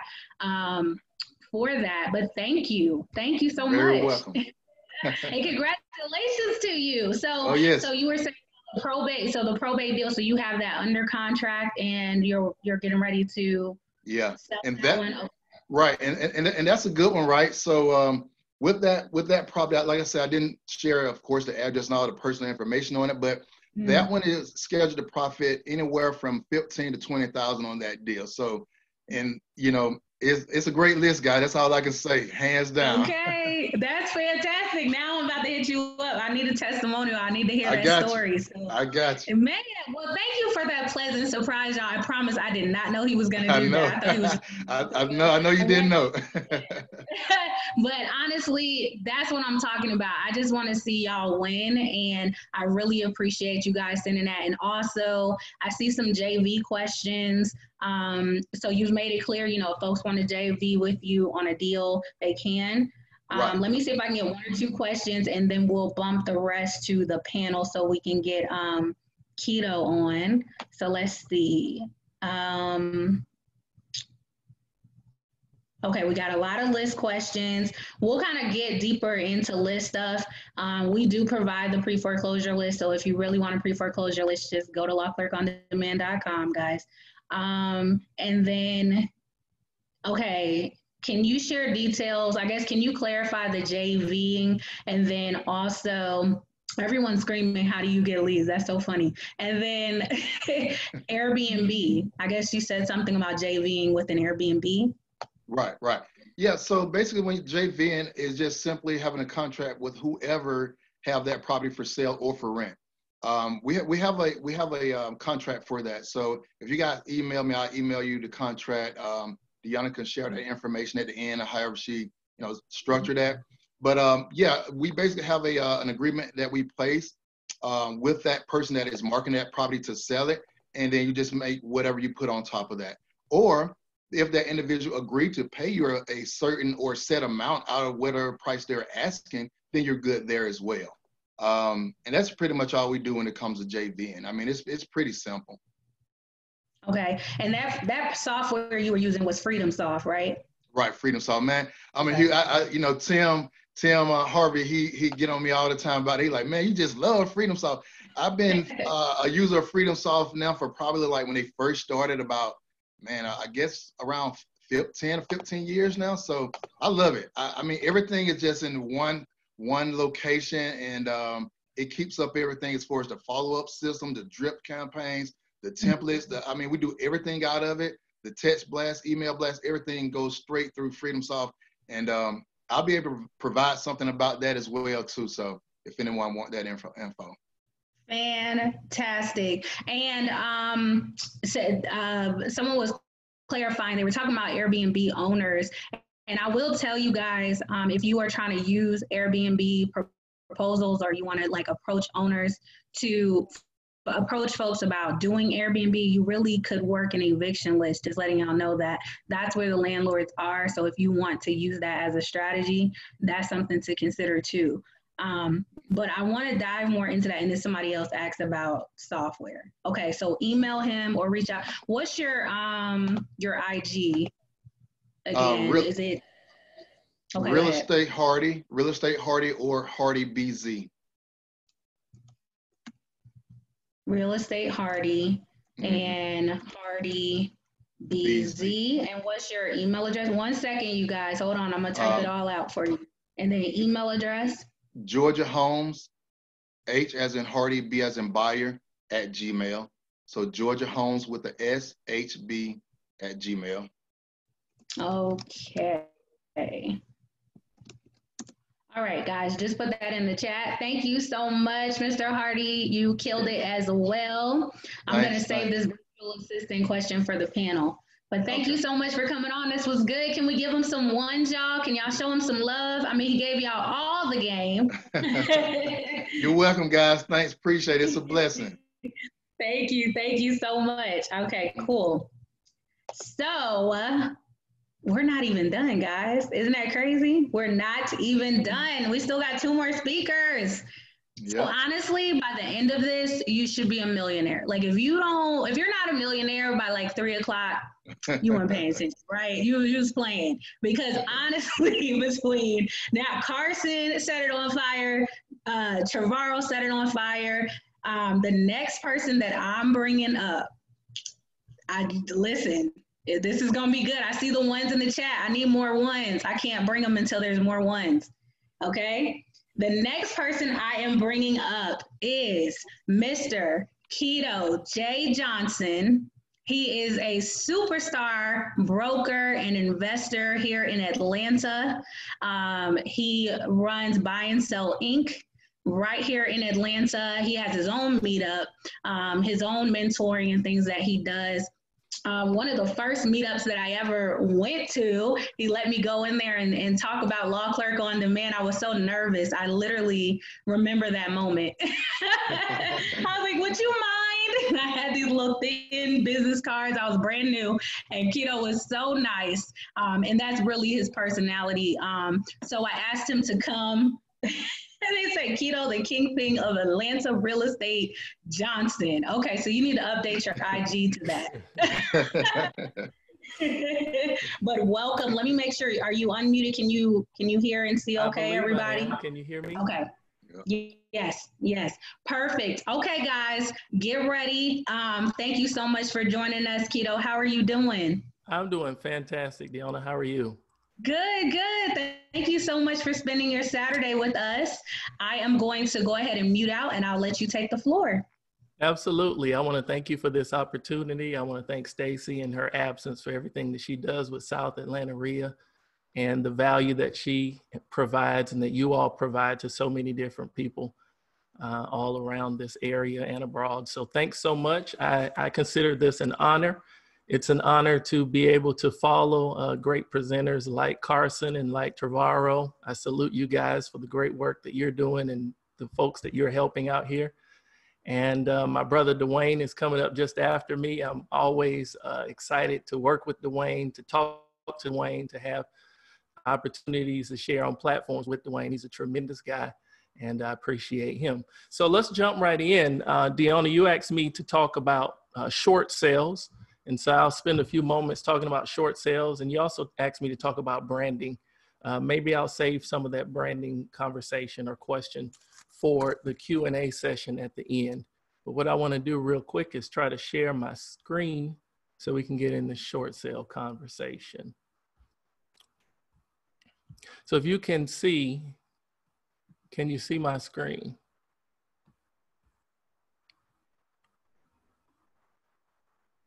All right. We can see you. You can see me. You can see short sale profits. Yes. All right, fantastic. All right, so let's jump right in. We're talking about short sales and short sale profits. And um, I believe that short sales is one of the often overlooked strategy that many wholesalers seem to miss out and leave a lot of money on the table over and over. And I'll, I'll share with you why I believe that is as we get into the presentation today. Uh, but my name is Kito Johnson, and I'm glad to be here. This is what we're going to talk about. This is what my 22 minute agenda looks like. I'm going to tell you a little bit about who I am. I'm going to tell you what my greatest passion in real estate investing is. I'm going to define short sales for you. I'm going to answer some frequently asked questions. So I have about 18 frequently asked questions. And I think as we go through those FAQs, uh, you should have a really clear understanding of what short sales are. And uh, if I if I present well enough and I answer all of your questions, that means you might not have any questions later on for me. Um, but I'm certainly uh, certainly open to whatever you have. All right, and then I want to give you a free uh, ebook that I've prepared called "How uh, How Not to Lose Money in Real Estate." You know, everybody talks about how to make money, but I, I wrote an ebook called "The 10 Biggest Mistakes That Most Investors Make: How Not to Lose Money in Real Estate." So I'll provide that for you and tell you how to get that at the end. And lastly, I'll share with you how you can contact me. So who am I? Uh, I'm a serial entrepreneur. Um, I've been doing something around entrepreneurship since I was age nine when I was selling candy at school and running a uh, lawn service after school. Uh, I'm a seasoned investor. Uh, most people ask me, Kito, exactly what is it that you do? And I say, I started investing when I was 20. I acquired my first property at 20 years old. Uh, I'll actually be 43 this July. So I've been doing this 23 years. I've been a full time investor since 2004. I'm considered an authority on real estate. And so I've been featured in a number of different places, not the least of which is Black Enterprise and CNN Magazine or CNN uh, television. Uh, and I'm also a best selling author. Uh, the, I've written several books, but the book that actually made me an Amazon bestseller is entitled Real Estate Wealth How to Remove the Guesswork from Investing and How to Create a Six Figure Strategy after mentoring and training and coaching and teaching people for uh, 20 years, I decided to write this book because I realized and I noticed a common theme over the years. And that, that is the common theme of confusion. A lot of people try their hands at a lot of things. When it comes to real estate investing, the reality is there's a whole lot of ways to make money in real estate. And you're hearing about quite a few of those ways on today's training. And when you walk away after three hours of sitting here, you will have so many notes that you can implement. But we really wouldn't have scratched the surface of the opportunities that are available in this industry. And so, what I realized was after training folks, there were a lot of people who came to me and one day they were trying short sales, and the next day they were trying wholesaling, and the next day they were fixing and flipping, and then the next day they were doing tax liens. Right? Every time I saw them, they were doing something different, and they couldn't quite understand why they weren't seeing great success like so many other people around them were. And in my opinion, oftentimes it has to do with the fact that we jump at a strategy without first taking a step and asking ourselves, what strategy makes sense for our life based on where we are today, based on my time, my money, my credit. Where should I invest myself and how should I invest those resources today? It doesn't mean that I need to stay at that place, but it is to ask ourselves what is the entry point? Where do I start as an investor and how do I grow from there? And when you determine where the best place for you to start is, that's what determines uh, where you should place all of your energies and your focus, at least for that season in your business. And that's what real estate wealth is all about helping you choose the strategy that makes the most sense for you. Okay, so you can go to Real Estate Wealth Bestseller and check it out. It's on Amazon, et cetera, et cetera. There's plenty of places you can pick up the book. All right. Uh, this is a screenshot of my website, and the reason I show this is because I want to really talk to you just for about 39 seconds about my what my real true passion is. People say, Kito, what do you do? And I often respond by saying, if it has to do with residential real estate, I either do it or have done it. So that's why I can write real estate wealth because I've wholesaled before. I still do it. I've done a number of short sales. I've fix and flip. I buy and hold. I've done tax liens. I've done new construction. I've done full renovations. Uh, you name it. If it has to do with residential real estate, I either do it still or have done it at some point in my career, inclusive of credit repair and uh, having a mortgage brokerage. So I've got the experience, but what I'm most passionate about is buying and holding real estate. And so I have a number of different online courses, training courses, etc. But I mentor individuals who want to buy and hold real estate for long-term generational wealth, for the creation of pa- uh, passive income and cash flow. So I help new and seasoned real estate investors add a quarter of a million dollars to their net worth within a year while creating monthly passive income so you can quit your day job if you want to. All right. And so if you go to my website, kitojjohnson.com, I have a, no, whole new, another training on, on that specifically. Uh, you can get that training free if you go to my website, kitojjohnson.com. So my assignment today is to talk about short sales. And again, DeOnna, thank you for this opportunity and for giving me this assignment. I do also enjoy short sales, and I'll share with you why. First thing I want to do is make sure we're on the same page, that we have an understanding of what a short sale is. A short sale is when an individual is upside down on a property that they desire to sell. Okay. So if the house is worth $100,000 and they owe $120,000, then that might be a candidate for a short sale. The other thing that makes it a candidate for a short sale that's important, that is essential, is that that individual is in arrears on their payment. They have to be at least 30 days behind on their more, uh, monthly payment for a bank to consider a short sale. It is called a short sale because what literally happens is the bank uh, after a series of negotiations, a bank is willing to sell the property short of what the actual mortgage is. So if they sell it for 100 and the mortgage, the, the mortgage, the individual who owns the house owes 120,000, then they're selling it short of the full balance of, of the full payoff. All right. So that is the definition of a short sale. Now, let me ask, answer this question. Again, I said I have about 17 frequently asked questions. So I'm going to walk through each one of those and hopefully answer everything that's lingering in your mind right now about a short sale. The first thing is why would a lender consider selling a mortgage short? A lender would sell the mortgage short quite simply to avoid foreclosure. Remember, I told you that the individual who owns the house has to be at least one payment behind. All right. So if the individual is one payment behind at least and headed toward a foreclosure potentially, then the lender will consider a short sale. If this individual says to the lender, you know what, uh, I owe more on this house than it's worth. Uh, I'm having some challenges making the notes. I want to wash my hands of it and move on, but I want to av- avoid a foreclosure. They will consider a short sale. A lender will consider a short sale because foreclosure costs them money. It costs them money. Not only does a foreclosure cost them money, but uh, more times than not, most loans have some sort of insurance on them anyway. So if a lender does a short sale, at the end of the day, it's not really that lender that's losing out. It's the individual who has the insurance that is backing the property. Okay, so uh, a lender will consider a short sale because for every dollar that a, a, lender has loaned out, there is a certain amount of credit line that is available from the feds to that lender. And so for every non performing asset that is on their books, and if they have a house where the mortgage payments aren't being paid, that's a non performing asset. So for every non performing asset that is on their books, they get penalized uh, from uh, from a hierarchy perspective as it relates to the amount of money that they still have available to lend.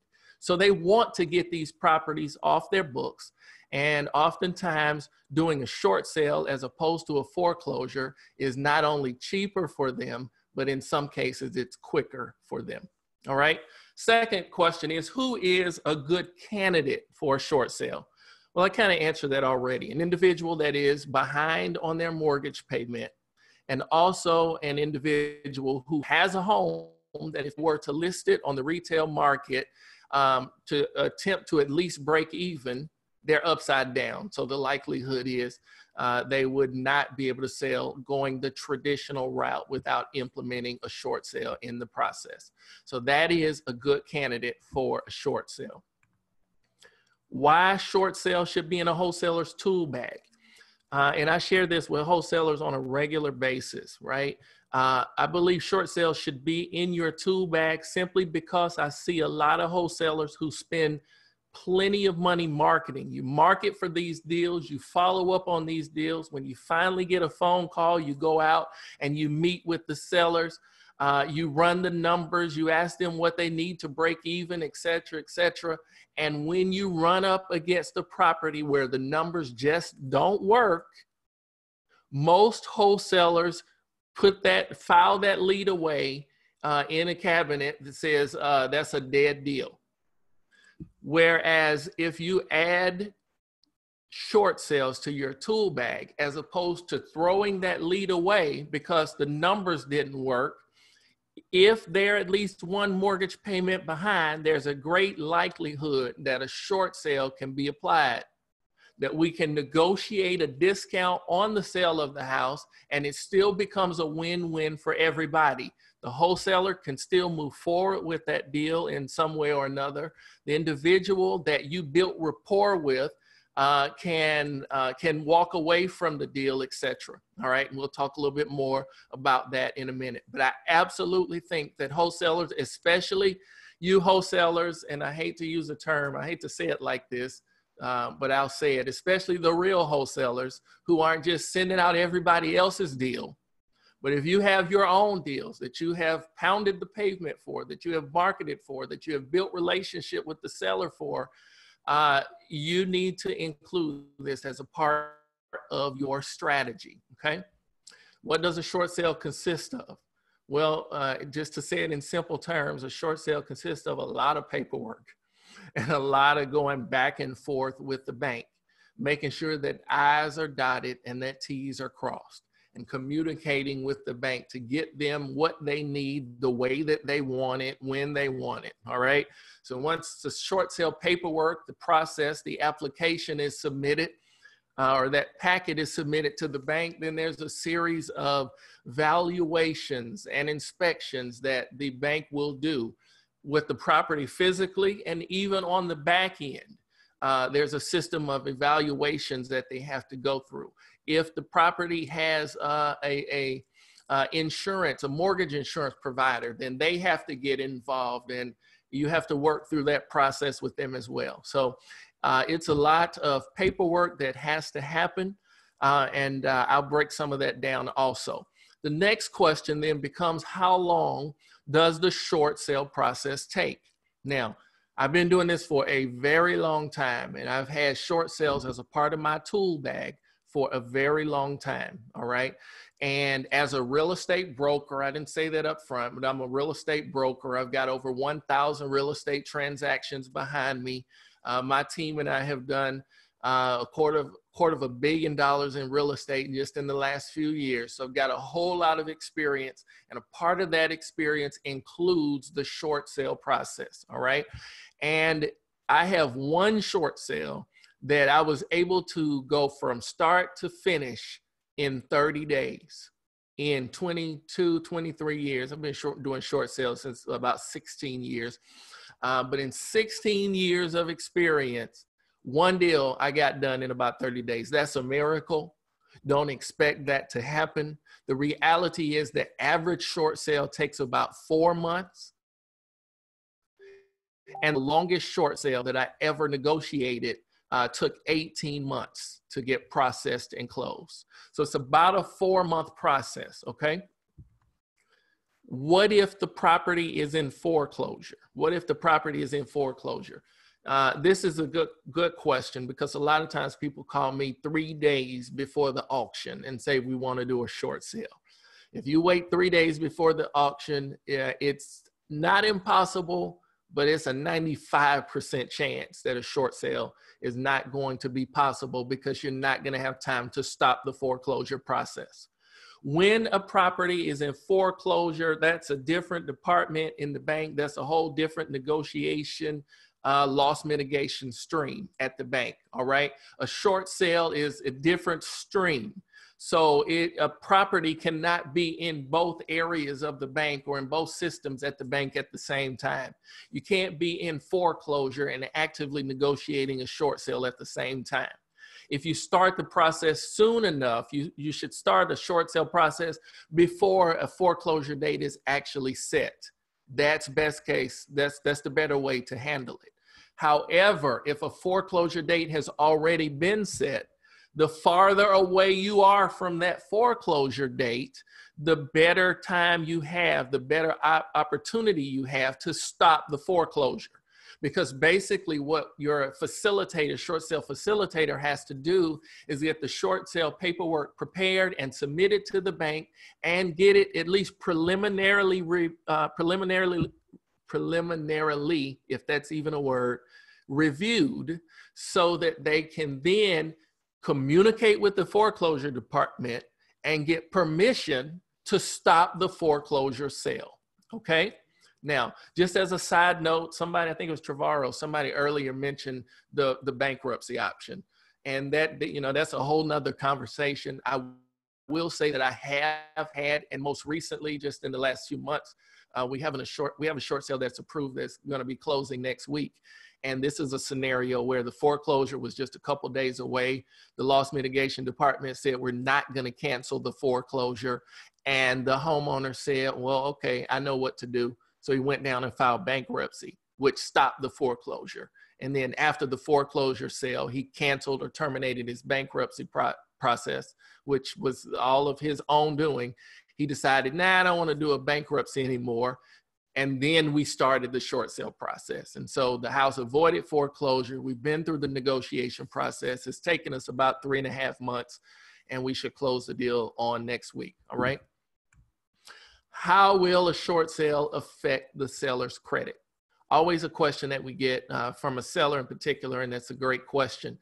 Uh, a short sale is going to have an impact, uh, a, a not so positive impact on the seller's credit. However, the impact is going to be, as I've understood for years, is that the impact is not as bad. It does not look as bad as a foreclosure. All right. It, it indicates that the individual, that the homeowner was willing to do whatever it took to take the necessary steps to avoid foreclosure. And so it then shows on the credit as like a settled account uh, in most cases. All right. What condition should the house be in? What condition should the house be in?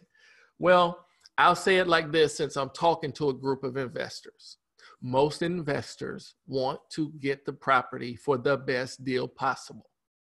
If you want to get the property at the best deal possible, then, then consider that when the appraiser or the evaluator that the bank orders goes out and looks at the property, consider this with me. The worse the house looks, the better chance you're going to get at a lower evaluation. All right. Uh, take that for what it's worth. If you you got a property that's in tip top clean condition, short sale still works. It still works every day of the week. But the reality is, you just might not get to the number that you want to get to as an investor buyer. Okay.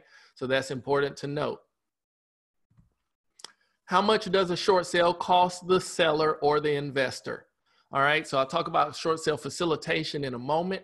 But the truth is, most times, at least when if you work with us, it costs you absolutely nothing unless the deal is approved. If the deal is approved and we're ready to go to the closing table, then sometimes, not all the time, and it's it's one of those, you know, real estate answers. The real real estate answer to any question is it depends. All right, uh, but if there is a short sale facilitation fee, then that's included at the sale of the home, and you're able then to factor those numbers into your desired purchase price up front. So that's the first thing you need to know. The second thing is nobody pays anything um, until we get to an approval, right? And go to a closing table. And we wouldn't get to the closing table if the numbers didn't work for you. The third thing is the seller never has to pay anything. And the, and I should say it like this: there, I've heard that there are some companies that do charge you fees up front. I would tell you to really investigate those companies and be careful if you choose to go that route. But with the processes that we use, nobody spends any money out of their pocket um, from an investor or seller perspective until we get to the very end of the process and everybody likes the numbers and we go to the closing table. Okay, so it's really no loss at all involved in this process. Here's the great question here Can the seller make any money at the closing table? The answer usually to this question is no, because remember that the short sale lender is selling the property short. So if they're taking a loss on the property, oftentimes they are not going to be willing to allow the seller to get any money at the closing table. Usually the seller side of the settlement statement says zero. Now, about 50% of the time, we are able to get some sort of relocation incentive for the seller. All right. And I think I have another question coming up about whether the house should be vacant. If I don't, remind me later to answer that question. Right. But uh, about 50% of the time, we can negotiate a relocation incentive in for, or some sort of hardship incentive in for the seller. And about what we always ask for it but about 50% of the time we uh, we're successful at getting that. So I usually, most times when I'm working with a uh, with with an investor or a seller in particular, I just set them up from the very beginning to understand that you know we're going to help you walk away and wash your hands and help do some uh, uh, salvaging to your credit. Uh, I would not expect to get any money at the closing table, and and that's usually how we handle that conversation and then we'll come back and maybe surprise them with something at the end. Now that's my answer as a real estate broker all right? Now i do and have heard of investors who will say to the seller uh, i can't give you anything at the closing table but if you leave that 30 year old refrigerator in the house. After closing, I'll give you $1,500 because I just really love that refrigerator. And so I will buy it from you for 1500 bucks, right? So I've seen or heard of things like that from the past. But at the closing table on the settlement statement, usually the seller walks away with no money. Okay. Should the house be vacant? Yeah, here's that question. Should the house be vacant during the short sale process? Um, my answer, especially when I'm talking to a seller, my answer to this question is why have it vacant? Why have it vacant? Don't move until you have to move. I can't tell you the number of times I've seen people in a hardship type situation where they say, Oh, I'm going through a short sale. I better get out. And they move. And then it takes us nine months to negotiate the short sale that's nine months that you could have potentially been staying in that house, not paying any mortgage, because all collection activities have stopped while we're negotiating. So you could be living there nine months stacking up cash while we're going through the negotiation process. So my suggestion is don't move out until we get an approval letter. When we get an approval letter, we're going to have on average 30 days, at least 30 days to close the deal. So don't rush out of the house. Okay. So uh, that's very important to understand. Can you wholesale a short sale? Can you wholesale a short sale? Now, here is something that every investor needs to be clear on. And I make this clear to every investor that I work with throughout this process. You cannot, uh, you cannot assign a short sale. Can't happen. All right. So the assignment deal is off the table completely. Now, you may be able to double close a short sale. You may be able to.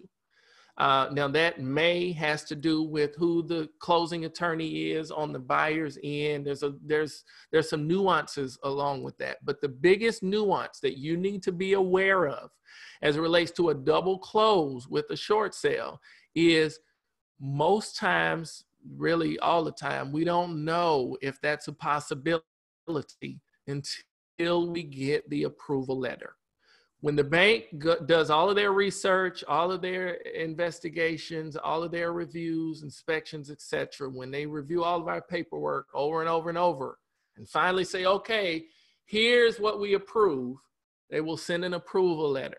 And that approval letter will specify how much they're willing to take what their net needs to be on the settlement statement. It details all of that information.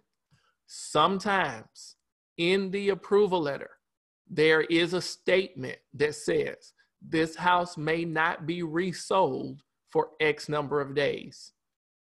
Sometimes there is a stipulation in the approval letter that says this house cannot be resold for, say, 120 days, but if it's sold sooner than that, it can only be sold for 5% or 10% more than the purchase price in this approval letter.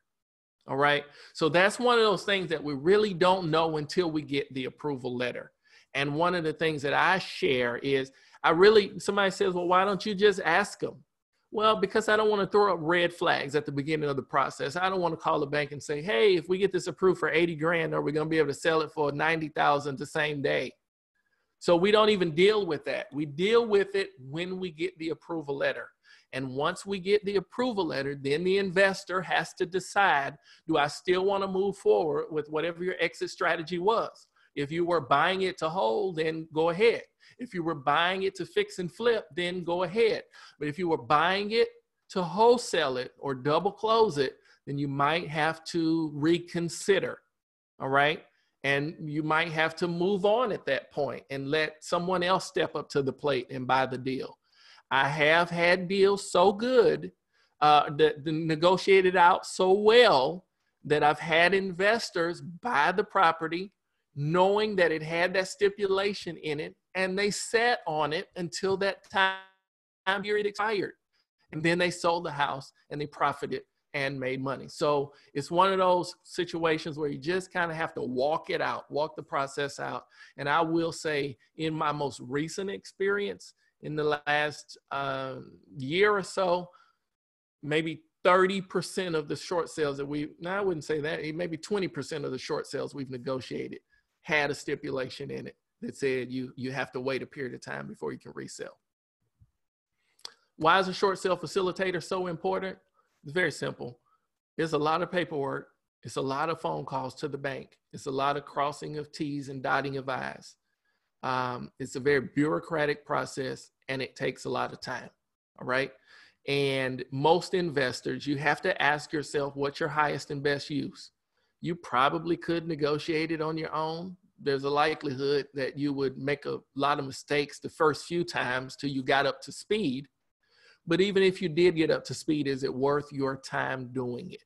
Right? Most investors, wholesalers in particular, who bring us their short sales to negotiate, move on, continue their daily business. And I've even had situations where folks forgot they even gave us a deal to negotiate. And I've called uh, the, the, the individual said, all right, we got that short sale approved. And they say, oh man, I didn't even remember that. like, really? Okay, well, let me see if the numbers still work. And then they move forward and do the deal or they walk away. It's one of those things that you just put in your pipeline and you keep doing business the way you do business until it's time uh, and, until it, it's negotiated. I don't know how much time I got left, but I think I got maybe three or four more minutes. Am I good, DeOnna?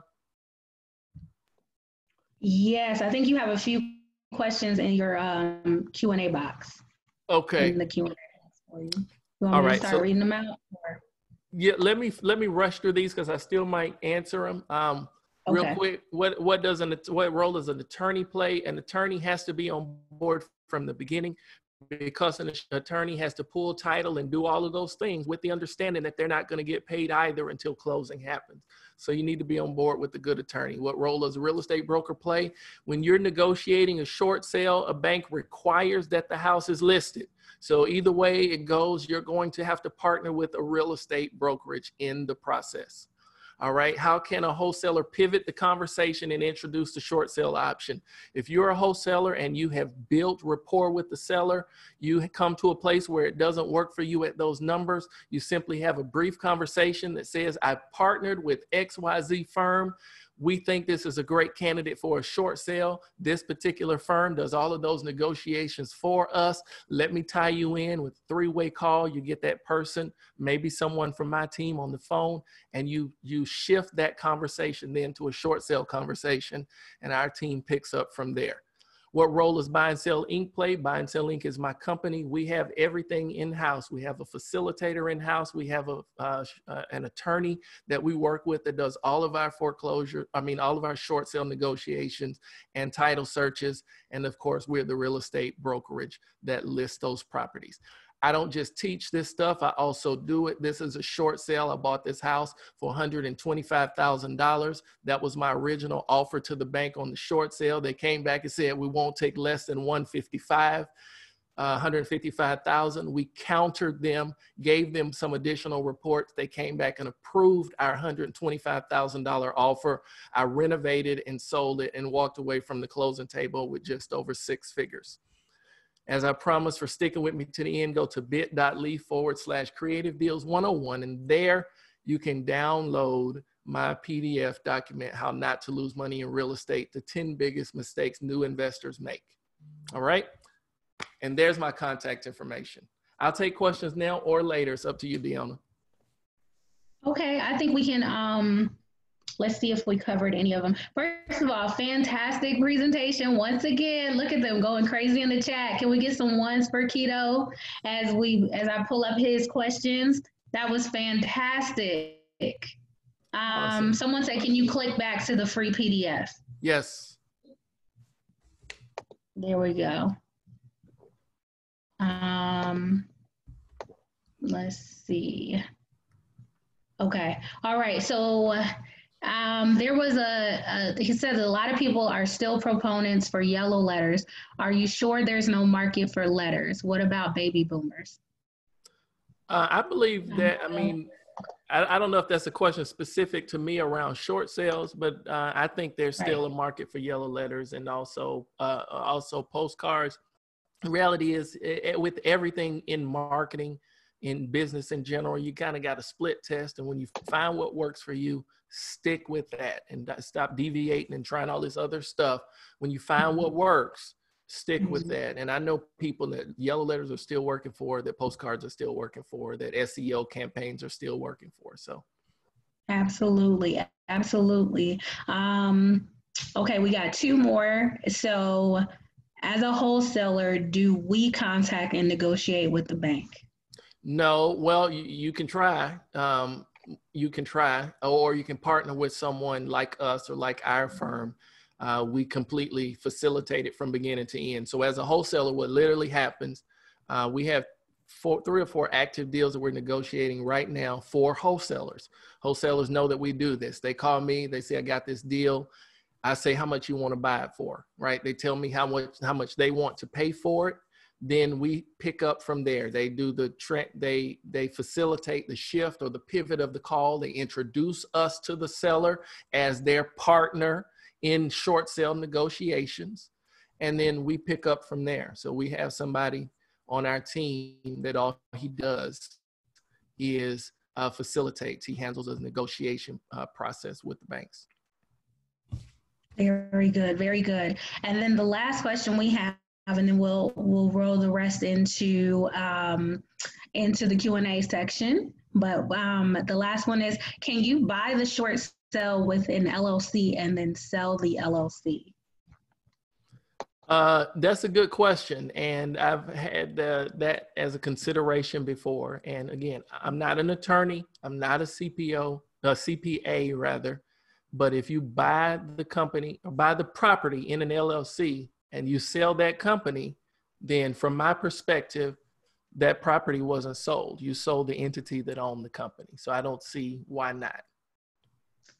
Right. Thank you for that. Um, all right, guys, give Kito some ones in the chat. I do want to say, um, I do need to give my disclaimer and then I'm going to make a comment to Kito.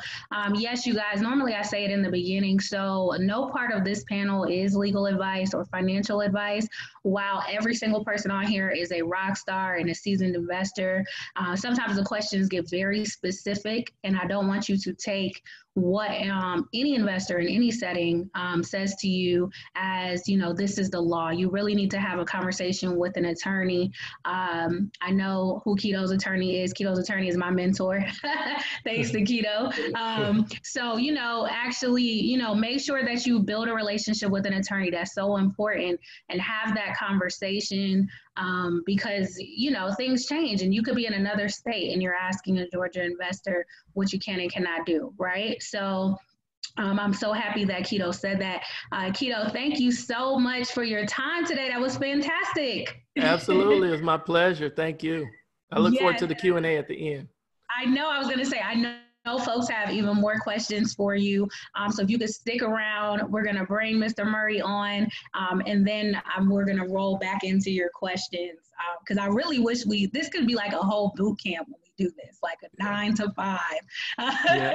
but I have to, you know, roll on. But thank you so much for your time. That was fantastic. I know I learned today, and people were commenting saying they're learning so much information. So thank you. Awesome. You're welcome.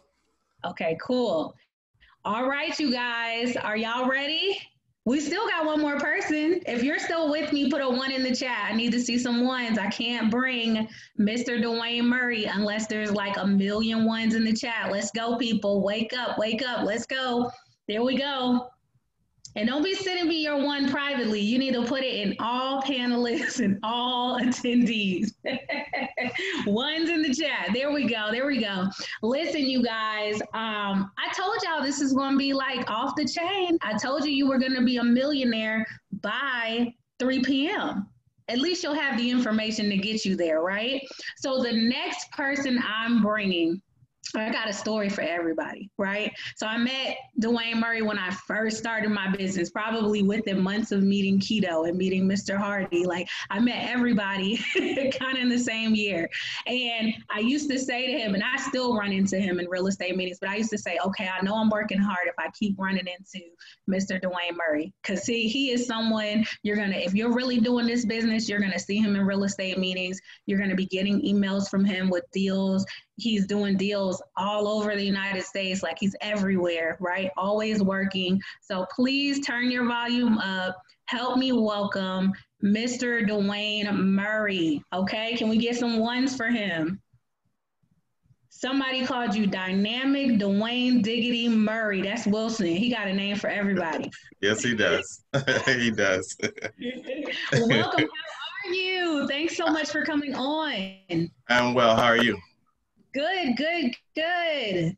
Thank you so much for coming on. I'm so excited to hear what you have today. Uh, please take your time. I know I messed the schedule up a little bit, but we're gonna do your presentation and then go into. I'll, I'll make mine shorter, shorter, so you know we can, you know, give it to the people to ask questions. I, I, I won't, you know, go that deep into to, to mine.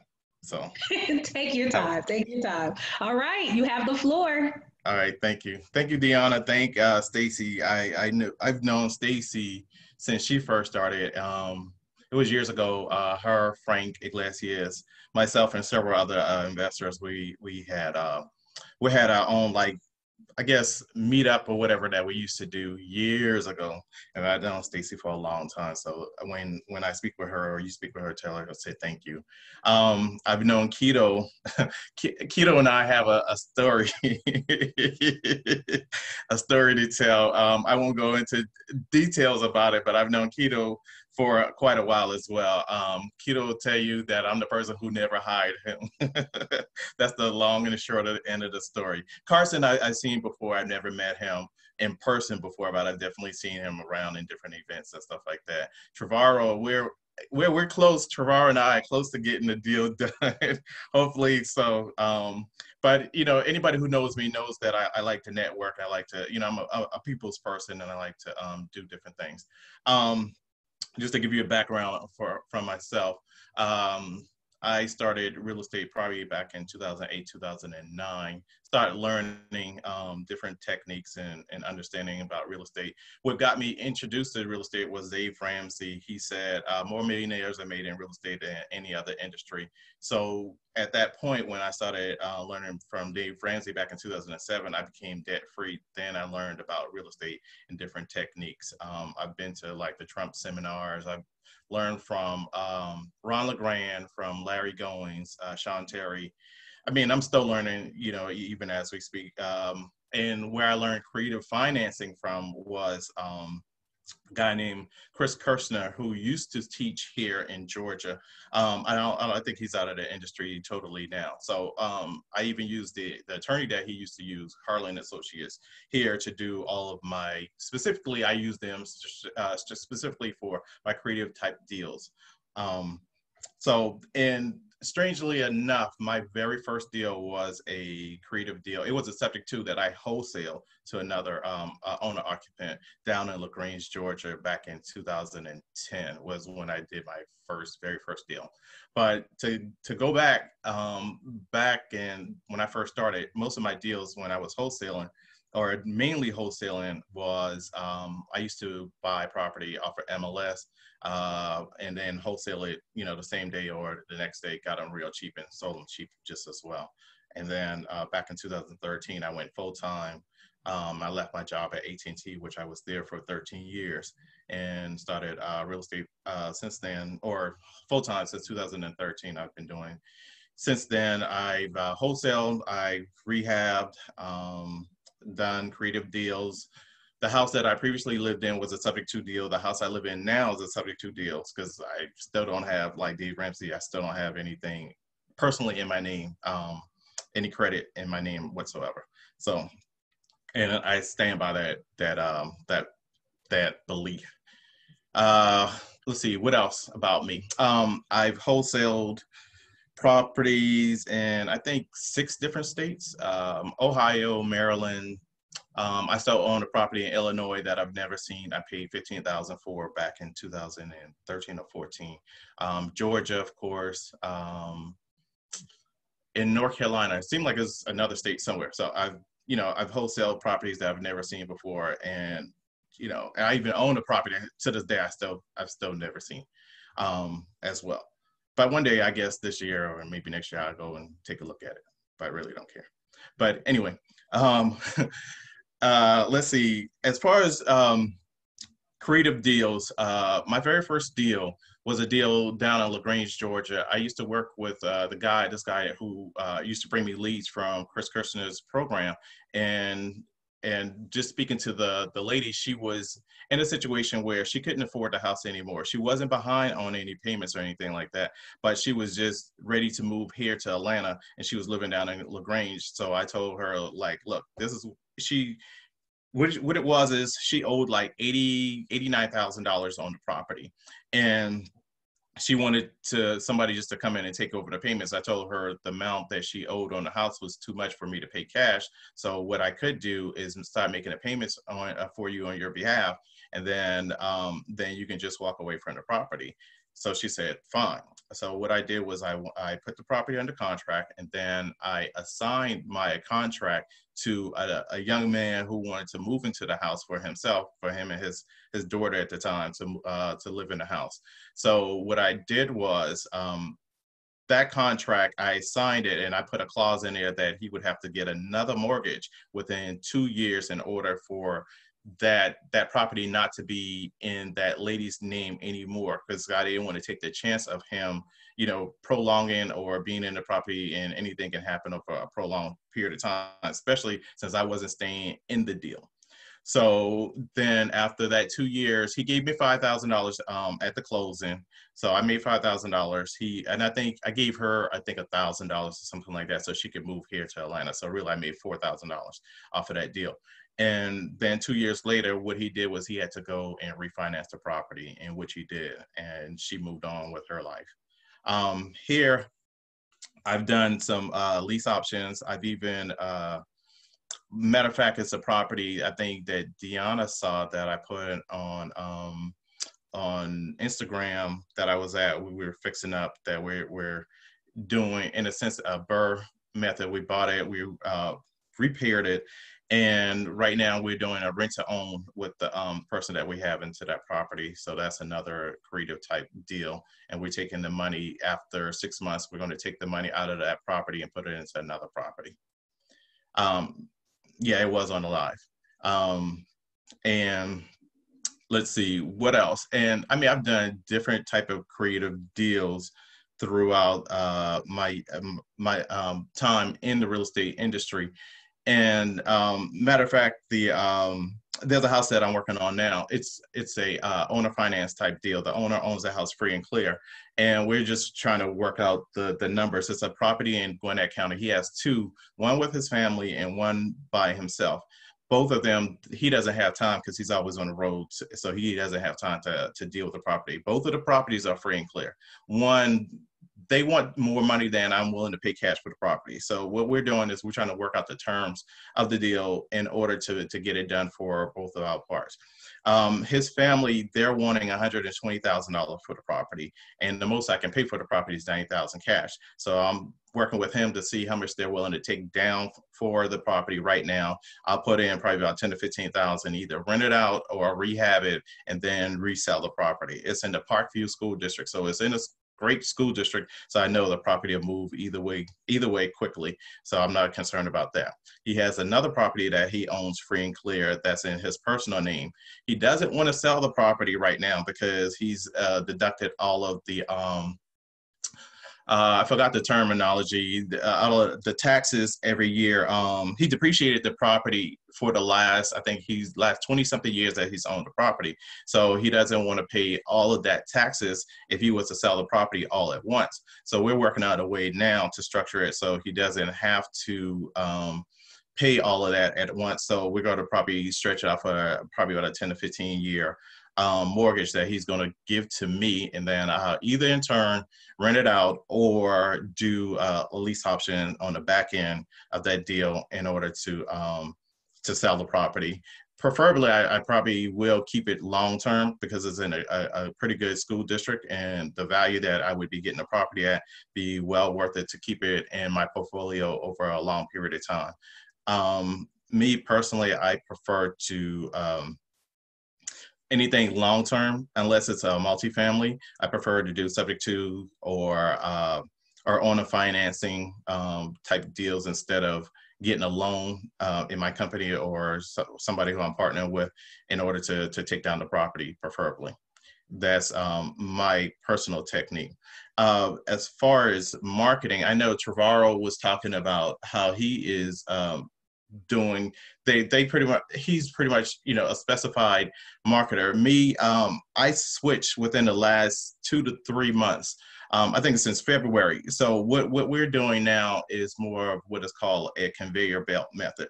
So first, when we take in, we, we get our list, and, and sometimes I get a list from um, DeOnna or other resources that I use. And what we do is we send it for a six-week time period. We will RVM th- that list probably about four or five different ways for a six, a six week time period. Then what we do is we take the leads that we have not got in contact with, and then we start SMSing them for another six weeks. So after that six weeks is done, then who is left, who we haven't got in contact with, who hasn't told us to go to H-E-L-L or whatever, you know, then we take those and then we um, cold call them. And once we cold call them for six weeks, then we take it and then we're going to start um, doing direct mail to those lists. So instead of people keep on buying list after list after list, you need to try to, uh, my suggestion is to try to find multiple methods in order to, to, uh, to reach out to those people because not everybody, you know, um, accepts your response in the same way. You know, somebody who's younger is more probably used to texting, and somebody who's my age or probably older probably either used to you know phone calls, and someone who's probably my elder is used to getting stuff in the mail. So we all you know have different ways of receiving you know our messages um, in the mail. Um, let's see, what else can I talk about, DeOnna? Is there anything else you want me to to speak on? Or and I can also, um, you know what? I can give you like almost like Trevaro. Let me uh, let me see if I can show it. Um, like Trevaro's uh, platform, he uses Freedom FreedomSoft, and I can show you the one that I use. I use Podio. Um,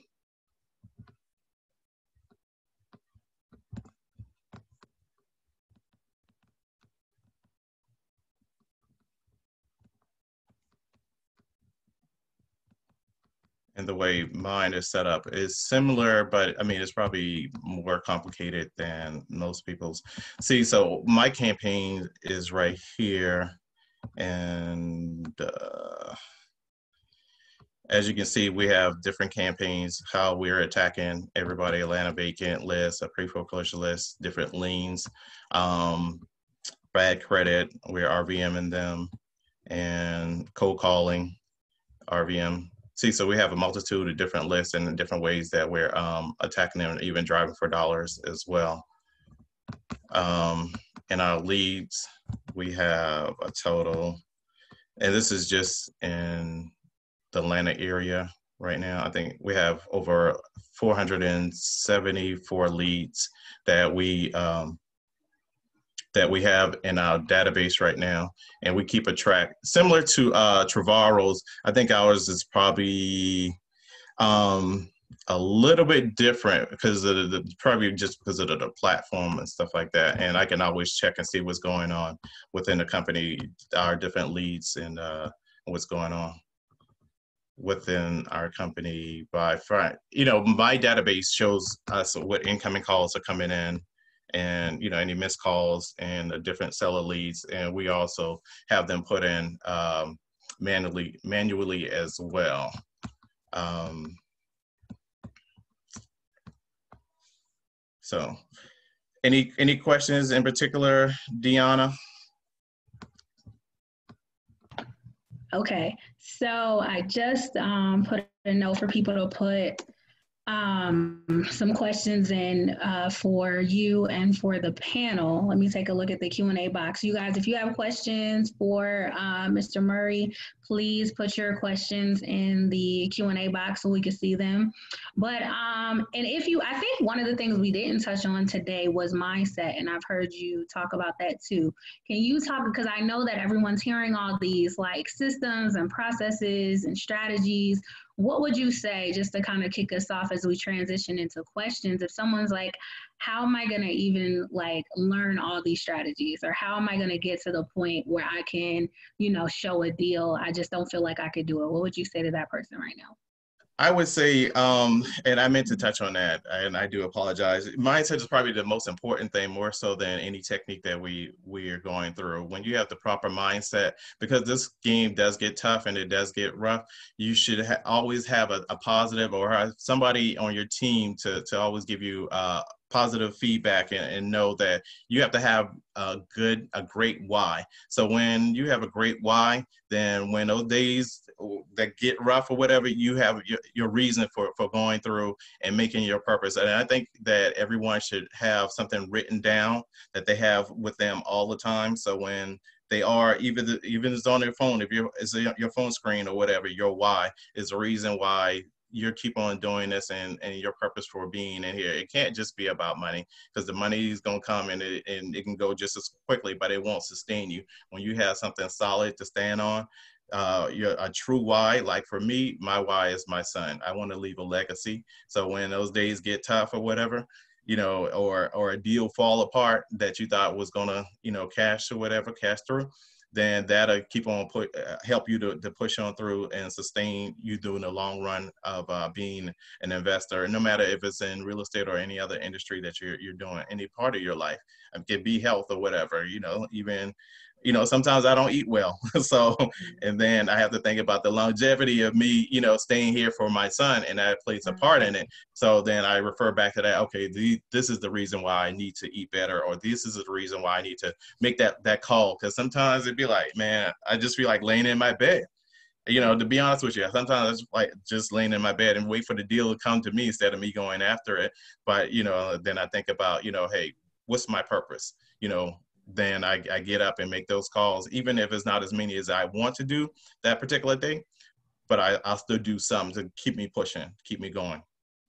That's good. That's good. I'm glad you broke that down because, um, you know, I I do agree. I feel like mindset, especially when it comes to marketing, like if your phone doesn't instantly ring, like that can really mess with you. Like if you do, if somebody says, "Okay, I'm going to write down uh, Mr. Murray's entire formula," and it doesn't work for me instantly. Like day one comes, and I'm like, "Okay," DeOnna kept saying I'm going to be a millionaire. It didn't happen.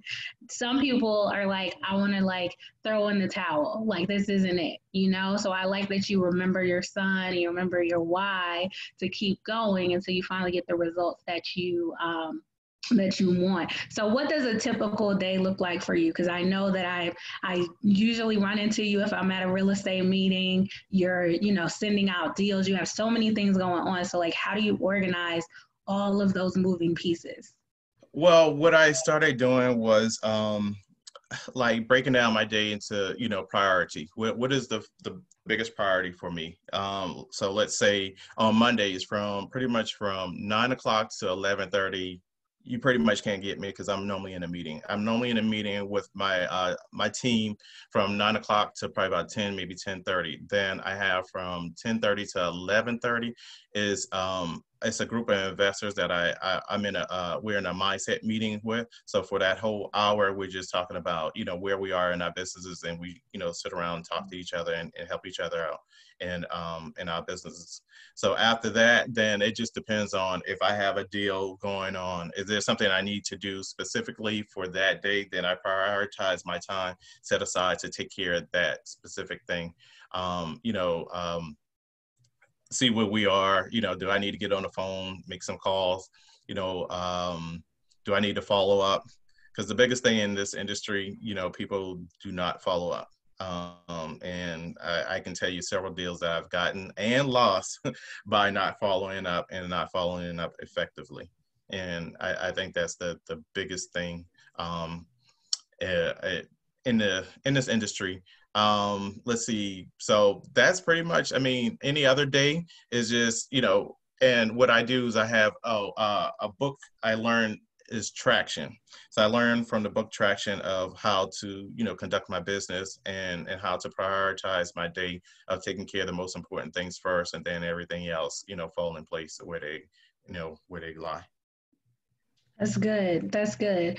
Um, and then the last thing that um, Okay, and I think we do have a question for you. The last thing that I wanted to address was networking because you really you know everybody. So what would you say to right? So what would you say to um to folks that are new that want to get to that point where because you know people ask about how do i find buyers? How do i find this? How do i find that? So what would you say to folks that are listening um, that may be making excuses about going to meetings or feeling anxiety about going to meetings? What would you say to those folks as far as networking is concerned I would say just go and be yourself. I mean, if you're just starting out, just let people let the more people you know you, you let know what you do, the more successful you'll be in this business. Um, I guess for me, I've always been a, a I guess an introvert, outgoing person. So it's people don't really re- realize I am a true introvert by heart, but I do go out and by you seeing me all the time, stuff like that, you would never think that.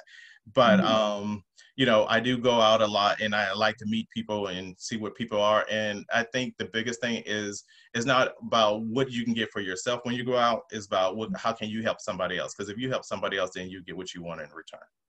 Absolutely. And it may That's not good. be from that person. You know, people look at that person that they help in order to, you know, get reciprocated, but it, you know, the universe doesn't work that way. Right, right. That's good. That's good. Okay, so someone said, someone said introvert. Where? That's funny. so, um, can okay. Someone said, who's the author of Traction? I know I'm going to put. I've heard uh, straight. Gino. Um, um, see, he's going to ask me. Hold on one second. Is Gino? Um. Oh, Wickman. Yes, Gino Wickman. That's okay. a book. I know I'm going to put that in my heart. and another uh, book that I would suggest is The One Thing by uh, Gary Keller. He's uh, the owner of uh, Gary uh, Keller Williams, uh, one of the owners of Keller Williams. That that book has really, you know, made a huge difference in in, in my life. I mean, personally and in business wise. And that's why, you know, I, I started focusing on one specific thing at a time because they say in that book that you can't, you know, people try to juggle different things and our brain isn't truly we think we're multitasking, but we truly can't. And in that book, he even defines why we do that. We don't even computers don't multitask like we we believe they do. And in that book, it, it breaks down that and and how it processes. Yeah. Absolutely, absolutely. Good. Oh, and one other book. I have another book, um, the millionaire, the millionaire next door. And I think you know, uh, too often we we we look at people and we think that they're not worth what they are worth, and and that goes. Mm-hmm. Um, in the book, it, it shows how they um, people's perception aren't actual reality. Mm-hmm. Very good, very good. This is good. Okay. Um, I know you have we you have some questions in the chat, and you guys remember fill this Q and A box up. I need to see more questions. We're getting ready for this all star panel in probably about two minutes. Um, let's see. Um, I know someone said, "How large is your team?" I saw that come through. Um, how large is is your team in regard? Let me find that question so I don't miss a piece of it. I don't even know where the question went, but I think you understand what I'm saying. yeah, yeah, I got you. Uh, yeah, right now it's, it's it's three three slash 3.5 and the reason why i say 3.5 is because i have a va my son is on my team and i also have another va who works for me part-time. So that's why i say 3.5 yeah. I think that's v- cool. So you were able to hire your son. Yeah he does a lot of the, the back office type stuff or whatever. He um he does it he he'll text but he's I mean, you probably never see him. I think uh, the only person that's ever seen him is Kito, and I had to drag him to one of Kito's meeting. Um, otherwise, he he'll stay in the in the background. He he's like, you go out there, you speak to everybody, and bring me back the information. I'll do all of the work. so I love that. I love so, that. Yeah. Um. So the VA, what he does is he does all of our marketing. Um, uh, so he handles all of the, uh, he doesn't handle really the SMS. My son handles most of the SMS. He handles the uh, cold calling. He handles the, um, the RVMs and stuff like that. The phone calls come to me, but he puts it in and sets up the systems um, for that. And anything um, in the back office, uh, the VA does a lot of that stuff. Um, he, he's, I mean, he's a great programmer, so a lot of things that um, I, I couldn't figure out. He, he's great with Excel, so a lot of uh, marketing tools, and, and we cross collateralize um, different lists. So what he does is he'll take um, like let's say a vacant list and put it with a bad bad credit list, and takes those take those lists and, and and take the information and see who should who we should target more so than everybody on just those one or two lists. And sometimes we take three or four lists and put those together as well. Very good. Very good. Um, okay. I'm trying to see if there is anything. Someone said, what was the second book? Can you repeat those three books really quick? First book was Traction by Gino Wickman. The second book was The One Thing by uh, Gary Keller. And the third book was The Millionaire Next Door. I can't remember who, who's the um, author of that. Let me see.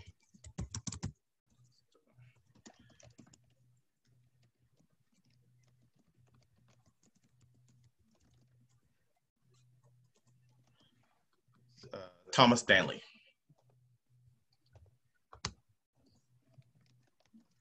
And what they did was they came up the book because they, uh, I think, researched over ten thousand or a few thousand um, millionaires and and show their their habits and their ways of living, or people who they thought were prospective uh, potential uh, millionaires. So. All right. Okay. At this time, I'm going to queue up so we can get this panel started. Um, so I'm sure you have a ton of questions, but I'm gonna let you get out the hot seat for two seconds because you have like seven questions in this box. Really? So what we're gonna do is we're gonna queue up this this this uh, panel because I think a lot of the questions that are being asked could really anybody can jump in. So what we'll do is like a, I think I can do a gallery view where everybody is being shown. Um, so uh, can we give Mr. Murray, Dewayne Murray, some ones in the chat, please? Because he killed it as well as promised. Thank you very much. The ones are our applause if you guys haven't caught on. Thank you, thank you. okay, so um, Mr. Murray, can you unshare your screen, screen and we are going to do a gallery view now. I'm gonna try. Share it. How do I unshare it? So go to the bottom and hold, oh, actually up top. If you go up top, you see that bar, you can unshare. Uh, let's see if I can find it. I saw oh, let's see. Oh, there we go.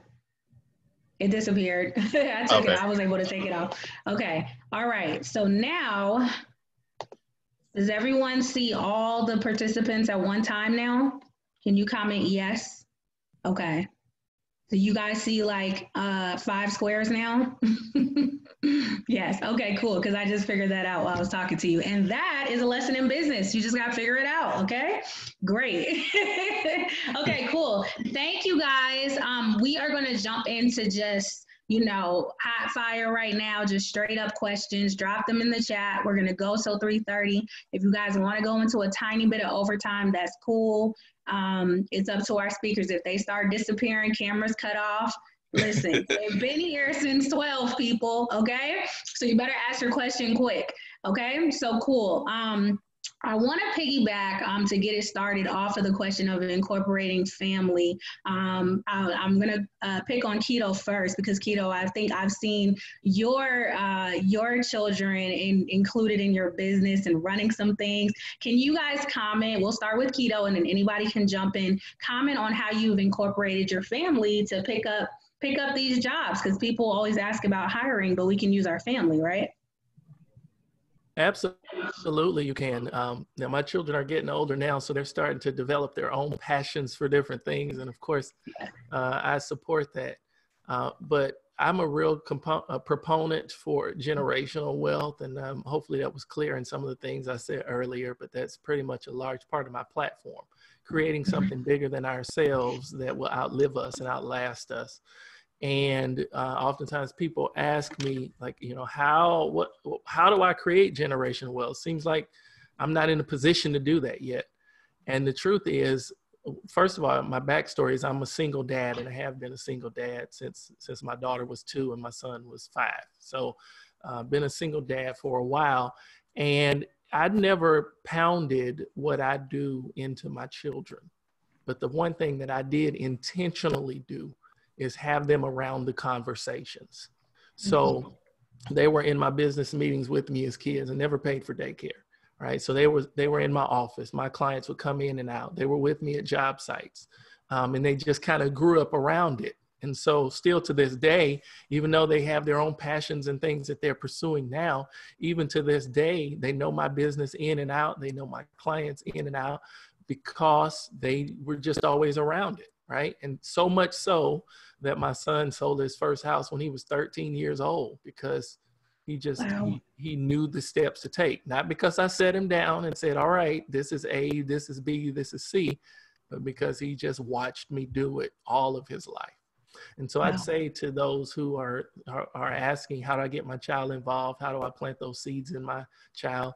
Uh, you know, we've all heard it said before as parents, you know, they're watching what we do more. Oftentimes, they're placing more emphasis on what they see us do than what they hear us say. So just make sure that you, that you that you expose them, that you that you put them around the conversation. So good, so good. Anybody else have comments on incorporating family into the business? Mr. Olinger? Yeah, I'd also, I'd, I'd piggyback on what Kito just said. And uh, he's right to say you don't want to beat it into their head.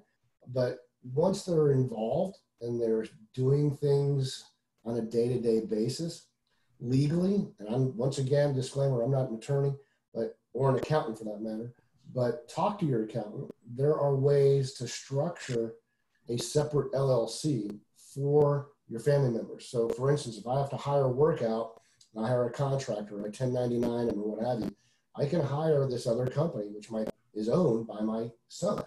So they, as a minor, can receive in X amount of money per year. I think it's twelve thousand dollars a okay. year, and it's tax free. So they can be paid because they're under the poverty level, basically. But it puts them on the grid, so you need to be aware of that. Which they have to pay taxes, but the taxes are nominal. But it's a write-off for you. That's because it's all coming out of your pocketbook anyway. So you can structure your children to do age-appropriate chores. For instance, my eight and nine-year-old he empties my garbage or he licks envelopes or he, you know cleans up after a house with a broom but my 14 year old he's helping to mow lawns or throw mulch down or things like that that maybe i would normally hire somebody else to do but get them involved get them around i'm going to be talking, talking to my gc and he's doing a project so you can find ways to legally funnel money into different llcs to where you can defray your tax burden and on the back end now they grow up, they can get their own health insurance at a certain age. I think it's 18, and they don't need to be under health coverage when they go to college. Now they're going to college. You continue to pay them doing Excel spreadsheet work or things like that. Now you're funding college without the tax burden. So there's a, a myriad of different legal ways. Talk to your accountant to set that up that you can incorporate family, not only for what um, Kito was saying on the generational wealth, but you know planting that seed and then taking advantage of it financially for the entire family not only yourself but for your children's benefit down the road absolutely absolutely mr hardy do you have something to add i was going to say yeah um, absolutely 100% right. Can you hear me okay? Yes. Yep. Okay cool. Yeah um, basically i do the same thing. Uh, well when i used to do a lot of the yellow letters uh, my kids used to do because we um, kind of like design them handwritten. So they used to do a lot of the yellow letters for me but since we've gotten away from it like dewayne said or someone else on the panel said kito maybe um, yellow letters definitely still work. The postcards still work. It's just you know depend on your area however and like dewayne mentioned the age group of the the owner that you're targeting too that plays a lot in it but um, yeah, I mean, we had our kids doing it, and now my wife, she worked, you know, behind the scenes doing the advanced research, as I showed you guys with the um, on my diagram earlier. So the advanced research, she does that behind the scenes. So we're looking for getting more in depth as far as locating a homeowner or next of kin. She handles that behind the scenes. So, um, and then of course, you know, we don't want to, like you guys mentioned, force our kids to do anything because my kids are getting older, so they want to do their own thing, but just them knowing that they have a place to go and some other work they could do if they um, determined to love it, then they're all in. So um, it, it's great to have your family involved for sure. Fantastic. So I love that. Um, I'm really thank you guys for sharing that. Oh, Mr. Murray, go ahead. I'm sorry. Oh, what I was gonna say when my son was younger, I even you know show him how to even you know to delegate his work by because he had to do so many uh, spreadsheets when I used to do a lot of HUD uh, bids or whatever. So that means we were doing like four or five different states. So I showed him how to hire out from what I was paying him to pay somebody a little bit less, so he'll still be making more money by having other people doing the work for him as well. So also not only just being uh, always being an employee, but also being an entrepreneur and being a, a leader as well. Good. That's good. So the kids, the siblings, the cousins, these this is our first staff, you guys. I know that's a common question. And I'll be honest with you, that was my job. That's yep. how I learned real estate. I had to I now looking back, I'm like, I think my uncle tricked me a little bit, but I just just got out of school, just got out of um, law school, and that was my job. You know, I was doing handwriting his letters, taking stuff to the um. Yeah. And yeah, I yeah. work on demand, but that's how I learned this stuff, you guys. So I was he put his niece to work, and then I eventually now I don't do that no more. But that's how I learned cold calling everything. So um so find yep. somebody, and the kids are home, right? Like everybody's home right now. It's summer. Like go through your family, and even if it isn't someone younger, just find out who has time. So instead of trying to go run and buy a system or some big VA service, you know, there's plenty of people that could probably do those jobs that you feel like you don't have time for. So I'm so happy we went there today. That doesn't get covered often. So thank you guys. All right, so let's jump in some more questions. Let's see. Um, uh, someone asked, Kito, do you have a short sale course? Someone asked, that came up twice. Uh, no, I actually don't. I don't have a short sale course. Um, we can facilitate it for you from beginning to end and make the process very easy. I've thought about putting together a short sale course. I have several others, um, uh, but my passion really uh, over the last year, I've really honed in what my training and focuses are around, and that's in mm-hmm. buying and holding for a number of reasons. So that's where my mentorship efforts go right now. Okay, so you do have mentoring available if somebody wants to kind of learn these different strategies? Yeah, specifically the, the strategy around buying and holding real estate. Okay, buying and holding. I have a I have a I have a short term rentals course. Mm-hmm. I have a wholesale mastery course, um, and I have a course called Investing in the Hood. So those are my three flagship online courses, and then I have a mentorship system around uh, what I call my PR five step system and how to add that quarter of a million dollars to your net worth every year, year after year. You said add how much to my net worth every year? Two hundred and fifty thousand dollars. I need to enroll. I can use that in my. Uh, but um, does anyone else have courses or mentoring that they like to share? Yeah, I do. Anybody else? Yeah, I do mm-hmm. mentorships and I do a lot of JVing. Um, my approach is a little bit different. Not to say one's right versus wrong, but a lot of times, and I know from my experience, I did not have any money when I started this three years ago. And as a result of the success that I had, people started coming to me asking me to teach them. And that was kind of a humbling moment because I was still quite honestly learning. I mean, there were things that I understood and I could implement, but there was still a lot, even to this day. I mean, I think we're all the same mindset. If you're not learning, you're losing. So we're always continually learning, but I was effective enough that people thought that I could share my information and it got me thinking that I should start a consulting um, side of my business, which I did. But more to the point, I saw a lot of the gurus that were out there and, hey, give me $20,000 and I'll be your, your coach for a year and you get this course and that course and the software. And I, I'm not, I'm not like that. I'm basically, hey, I'll spend time with you and we'll decide and determine how to find properties. And once we do, I'll help you bring that property to fruition and the property or the profit from the property will pay both of us as opposed to coming off the hip with a bunch of scratch on the front end, which a lot of us don't have. You know, we'll let the property make the money and we'll take a cut. You know, I'm spending my time, you're bringing the opportunity, I'll help cultivate it. So now you're learning in the process, but at the same time, you don't have to come up with any money. Now, it's all going to be dependent on how much time you want to spend doing that. But I work with people today and we've cultivated and found deals together and I help them structure. But the idea behind it is so that you're not going to need me or anybody else for that matter after four or five deals, however many that you feel comfortable. And part of that is just being laser focused on one squirrel. And I call it the dog chasing the squirrel up the tree. You know, a dog can't chase eight squirrels. We can chase one. The dog that chases eight squirrels, all he's doing is running around a tree. So kito, you mentioned a term and I love it. It's your toolbox, right? And we can all talk about being a homeowner and going out and buying that weird tool that you need to do this odd project. We have no idea how to do it, but we can probably figure it out. And you buy that tool, and now it sits in your toolbox. All right. You used it that one time, but in order to master it, you got to do it over and over and over again to where, hey, I've already got that tool.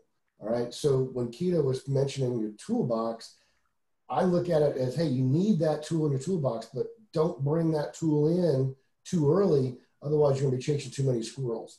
Figure out what you need to do, do one thing well. You don't have to master it, but be proficient. Then pick up another tool and go after that and build and build and build and build until you have a box like a lot of us have here with multiple acquisition strategies, multiple exit strategies, and short, mid, and long term plans.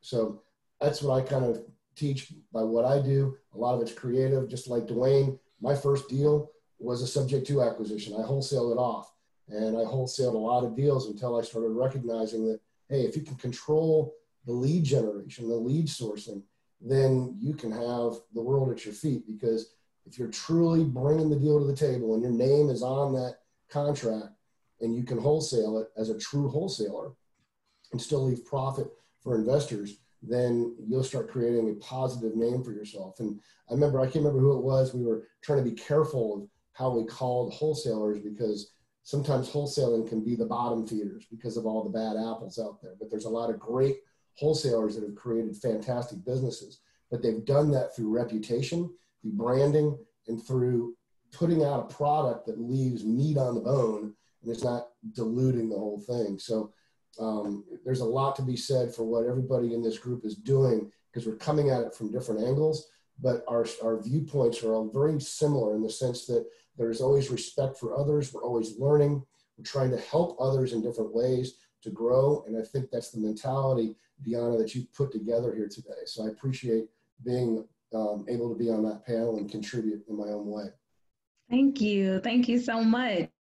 Um, okay, I think we have more questions. I know you you tapped on generating leads, and so we got that question again. So if we if you guys want to recap um, on your different strategies um, for finding deals, you know that's always a hot topic. How are you guys finding deals? Um, I know we talked about different lists and stuff like that, but what are you guys doing um, right now? What do you think is relevant in 2020? And um, you know, you could just say the name of what you do um, anybody could jump in on like your favorite way to generate leads right now. Well, I mean, um, my, my favorite way is, uh, as I mentioned earlier, I just purchased a list from different list providers, such as yourself, DeOnna, and uh, also, of course, inside of FreedomSoft, the lists are provided certain type of lists, which is uh, the absentee owners and the uh, owner-occupied properties. Um, they have some lists that's inside of FreedomSoft as well. Um, like the pre foreclosures, but I haven't really used those. Like I said, I just purchased those from a different list source. So that's pretty much how we've been getting our leads. We just purchase them and then we hit them with our proven method of uh, email templates and text message uh, templates, and then our phone script on the third contact attempt. That's good. That's good. Um, anybody else want to comment on generating leads, finding deals? I mean, okay to me. I'm, it's just like how I already come. I mean, just you know whatever market marketing method. You know, um, I've never tried PP. Uh, was it PPC? Aren't you using PPC? Carson Carson uses PPC. I've never really delved into PPC. I've always been direct, either direct mail, um, RVM, cold calling. That's that's about. Oh, and I used to do uh, uh, MLS, and I probably gonna probably soon within the next six months to a year probably go back to that as well because of the market shift. Yeah, DeOnna, I've I've had uh, when I first started out, I didn't have the money to do SEO and PPC like I am now. So I, I recognized from my previous background, I was in the Fortune 500 world. Uh, sales and marketing was my background, so I understood sales, I understood marketing and branding, and I, I understood typically what it takes to sell and to buy. And people that want to sell have some type of motivation, either profit or a necessity of some kind. And what we always tried to do is I didn't want to be part of a, a, a Me Too concept. And I, I'd be careful how I say that because we're in this Me Too world right now. But I call it Me Too investing, where you're standing in a room of investors. How are you finding your leads? Well, I'm buying lists. Me too. How are you finding leads? I'm driving for dollars. Me too. We're all mm-hmm. kind of doing those same things. And not to say that they're bad, because a lot of people are doing them. But guys like Trevaro have systems that drive that number down. You saw his numbers, they're, they're very strong and it's numbers based. So for me, what I found was targeting motivated sellers in a different way that other people weren't doing. And one thing that I was very successful with, and I still do from time to time, However, I mentioned earlier, you either have time or you have money. And at the beginning, I had a lot of time. So I would legitimately go down to the courthouse and I would sit in the law library or wherever I needed to do, and I would pull dispossessory leads. And a dispossessory, for those who don't know what a dispossessory is, is basically an eviction. So a landlord has a property that they're renting, they've evicted somebody, they have to get the magistrate court to pull them out. The sheriff shows up, right? But you have to file paperwork. All that's public information and it's free. Mm-hmm. A little bit laborious until you understand the system at that respective courthouse.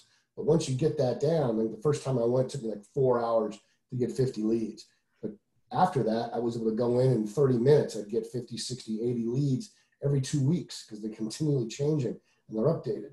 And nobody's calling those people because mm-hmm. they're not on these lists yet. They're, you're ahead of the game, but you're spending the time. So for those of us now that don't have the time, those lists that DeOnna provides really make a lot of sense because now yep. I'm just going to spend that money because my time's worth something. But the dispossessory leads, a lot of people think, well, why would a, an investor who owns a rental property want to sell to another investor? Well, a lot of people don't understand is a lot of these landlords are just kids that inherited grandma's house and they didn't know what to do with it. And, you know, granted, there's guys that are out there that have a lot and the whales that we find out there, portfolios, you're getting one of three things. I want to sell. I don't want to sell this house, but I've got this other one that I want to sell. So maybe you get that deal. Or, you know what, I'm not wanting to sell anything, but I'm glad you called me. I'm looking to buy some to add to my portfolio. Now you've increased your buyer's list. But what's nice about most of the dispossessory leads, and it depends on the county, is you get their phone number. So you're not sending them a letter, you're not sending them an email, you're calling these people and you're calling them directly. Yep. And now you've got a warm lead. Why is it warm? Because you know the motivation. They want to sell, but they've got a problem. They got an eviction, they got a problem. The house is probably distressed. So there's you've got to figure out what that is. So doing dispossessory leads through the magistrate court at respective courthouses was a great source of leads, and we still use that today. So when I JV with people and they're looking how to generate leads, it's one of the ways I walk them through that is through those. And then I evolved into the SEO and the PPC, which now I spend hardly any time looking for leads, but I pay for them. They come through it. You're paying for a list or you're paying for an SEO. You're paying for it one way or another. Just matter what works well for you. That's good. That's good. I love how you broke down, we call that the eviction list, but I love how you broke that down because I feel like, you know, I we provide the information, right, as a list provider, and I see everything from like a legal perspective. So you're speaking my language when you're saying dispossessory and so forth and so on when you break that down, number one, yeah, you guys are able to attack saturation because I'm telling you, in eviction, the eviction list, we go case by case by case, right, Mr. Olinger, because you used to do that. It is very tedious, but once you are able and, and it's so funny you said that you're like and then i got like 50 you know 50 to 80 leads like once you're done and you found all the houses you know this is a smaller list but man who is really going to get in those trenches and do that um, so that is a great list. And yes, you will have a phone number. Everything's in there. It's accurate, live information, like they were there in the last 30 days, right? And um, thank you, Kito, for that. So dispossessory, because we are removing, we're asking the court to remove them from our property, right? So that's how you remember it. We're dispossessing that person. And another thing I want to touch on is a lot of people think that that has stopped because of what we're hearing in the media. But remember, this is a court process. And so when we're pulling information, we're pulling it at the filing right? So we want to be able to, we're getting all of that information at the filing. So there are plenty of people who are still filing, but even though their day in court it has been delayed, that's what you're seeing on television right now. They're still dropping their paperwork off. Like if that courthouse is open, they're still dropping that paperwork off. So you can still take advantage of evictions. And I feel that evictions are even more. They're even red hot, like the best list to be working right now because I personally have interned in that court and you got to picture a courthouse where people are literally unable to get a seat. Like that particular day in court is already crazy, but it's going to be even worse once the faucet is back on and everyone's able to go to court. The courthouse in general is going to be a hot mess in the next couple of months. So if you could get in there and talk to those people, like Mr. Olinger just said, um, you are really going to do well. You know what I mean? So um, thank you for that, and um, and thank you for breaking down PPC because I think people hear that as well, but they don't really understand it and what it takes and, and really explaining that that is an investment, you know, once your business gets to that point, right? So, um, anybody else want to comment on? I think we got everybody. Uh, Kito, do you have anything you want to add about generating leads? Uh, yeah, I'll be brief. Because um, personally, I'm I'm not doing I'm not actively generating leads. Um, all of everything that I do is coming from prior relationships. Uh, again, right. with a lot of wholesalers and things like that. Mm-hmm. Uh, but I will say this: um, make sure that you're not in business that you, that the fact that you're in business is not a secret it's amazing how many people are in business and the people around them don't know what they do mm-hmm. and i'll give you a great example um, there's a lady who works in the flooring department at home depot and she knows why i'm there you know we have built some somewhat of a rapport so much so that one of the most recent short sales that we negotiated was um, somebody that she referred to me. When the lady called me and said I was referred by such and such, I had to think for a minute to say, okay, who? You know, she said the lady at Home Depot, and then I remembered. So make sure that people know what you do. Um, I still think the best form of marketing is word of mouth marketing. Fantastic. Um, and we may go into a tiny bit of OT, just a tiny, or y'all, can y'all bear with me a little bit because we have six more questions. but I do, I do want to come touch on, um, as promised, real estate branding. Um, so Kito, if you could elaborate just a little bit on um, branding yourself, and all of you guys can do that because we, I certainly know what all of you do because of the way that you've represented yourself, social media and meetings, things like that. So Kito, could you touch on that? Uh, I can, I will. Um, DeOnna, when you asked me to talk about branding, I thought, wow, I've taught everything under the sun, but I've never been asked to talk about branding. yes. Um, but but uh, I did think of you know three things that I try to be consistent with or to think about when it comes to my personal branding. Um, and I guess I would call them the three C's. I try to make sure that first of all, everything that I put out there is is clear you know that is clear for me clear means that it's not too much going on in your advertising that you're not distracting um, in all of the different things you try to fit into a marketing piece um, that that the images that you use of course you know my advertising has a lot to do with with meetups and and education and things like that so for me um, you know, I try to make sure that all of the images that I put forth are, are high quality images and that my fonts, etc., that my fonts are complementing each other and not so you know you see some stuff that's so cursive you you have to use your grandma's reading glasses to try to figure out what it says because it's just you know they got too cute with it. So mm-hmm. for me the first thing the first c is to be clear in your marketing. The second um, and i should say this too when i say clear i also mean that you have a call to action. Like what is it that you want them to do as a result of seeing your marketing piece um, and that should be prominent. I've seen so many different types of things that I knew they were advertising something, but it's like, okay, so what do you want me to do? Where's the phone number? Like, is there email? What what do I what am I supposed to do with this information?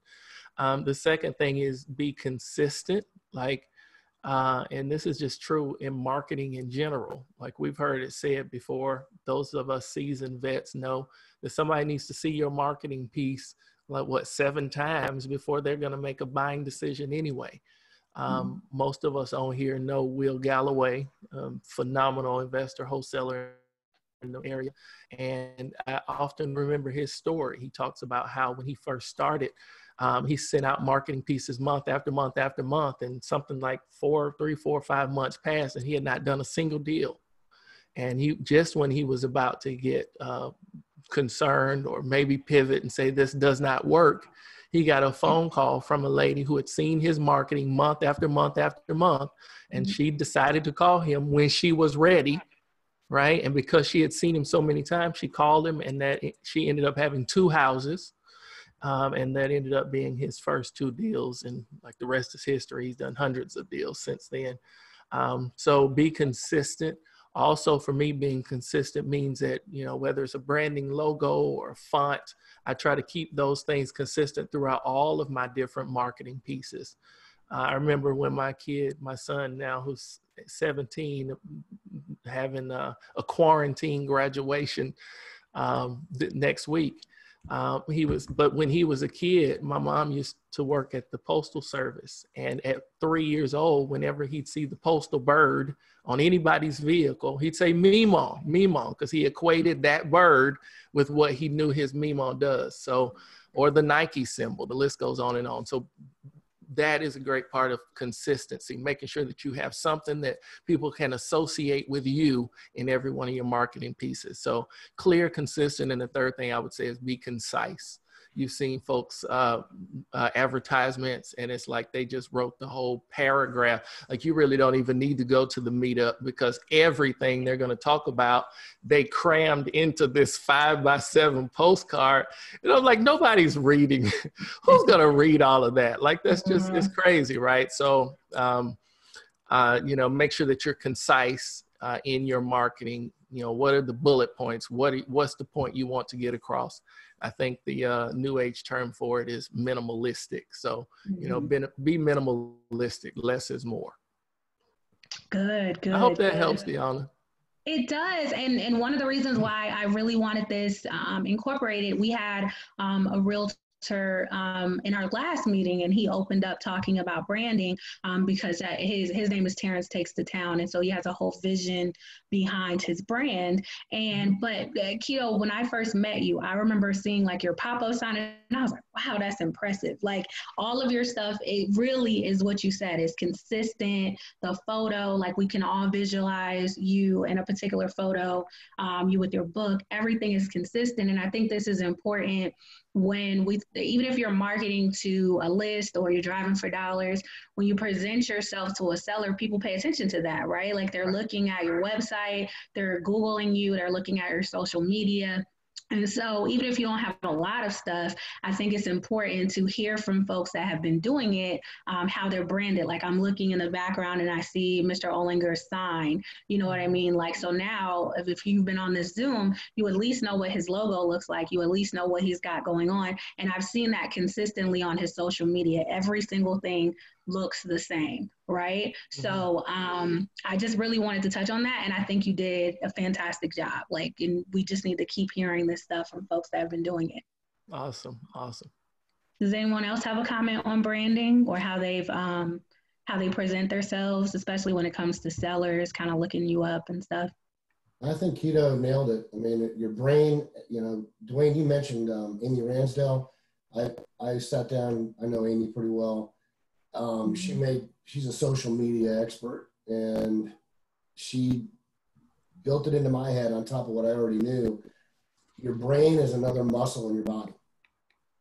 And if you keep training people's brains with branding consistently and consistently, they're going to associate your name with that company and they're going to know what you do. If your friends don't know what you do, you're doing something wrong. You got to have that brand consistently in front of them you're talking real estate, whether they want to talk about it or not, to a point, because then they'll get sick of hearing about it. But anyway, you, you consistently are in front of people. Um, and you're always trying to reach out and grow your network. Um, networking is a critical way of getting into this business.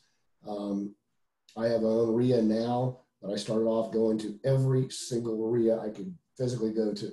My wife was like, Where are you going tonight? Where are you going this afternoon? And I was just constantly at REIAs and just osmosis, surrounding myself with people like this panel that know more than I do in areas that I had no idea about even existed. I've now surrounded myself with people that have forgotten more than I know.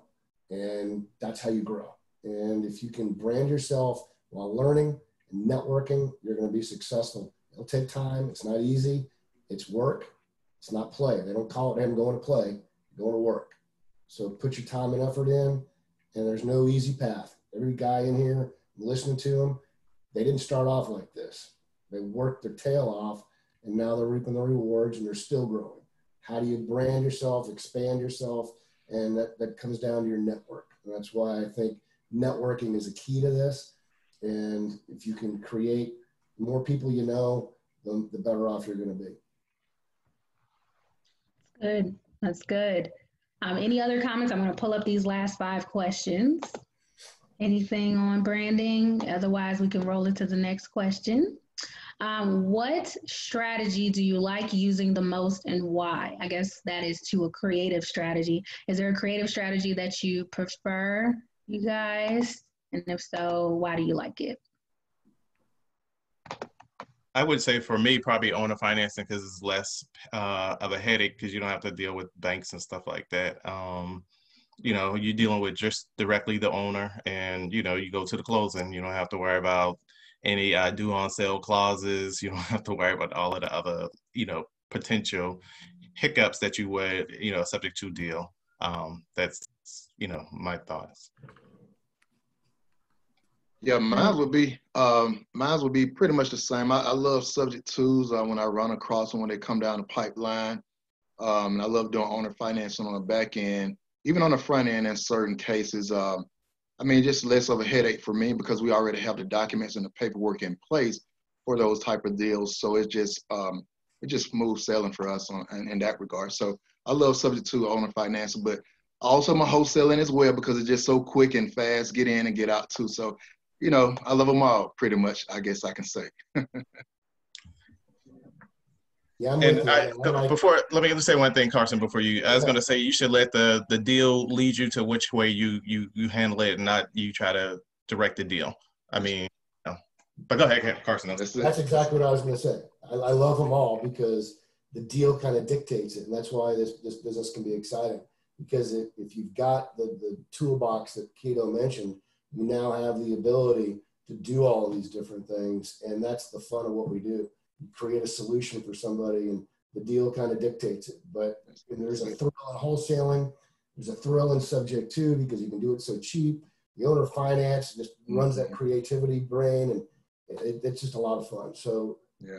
I don't have any one that I gravitate to, but you know, the other thing I would say to what Dewayne just mentioned is through networking, I don't deal with hard money. I do a private capital now because of branding and consistency.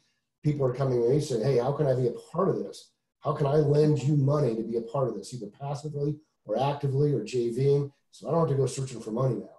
So and once you find four or five people that are willing to fund your deals, now you're not dealing with the banks. You're just dealing with cash and you can move quite effectively. I mean, I, will say for me, uh, it, I'm I'm in love with passive income. So whatever gets me to passive income, whether it's a great deal that's so cheap that you know that it makes sense for me to pay cash for it, then okay. If it's a short sale deal where the numbers are great, and on the back end, if I got to do um, some private equity, private money, uh, that's going to get me to passive income, then then that you know, if it's an owner finance deal the list goes on and on. So whatever is going to get me to a place where once I get this deal in my portfolio, first of all, that I can get it in my portfolio and that it makes financial sense so that every month uh, I've created something that that's going to uh, pay me month after month. That's what I'm after. That's good. Did I get everyone? I think I did. Okay. Um, we have one uh, one last question, which I think is interesting. Um, really quick, someone said, "Is there any guarantees with Kito's 250k mentoring?"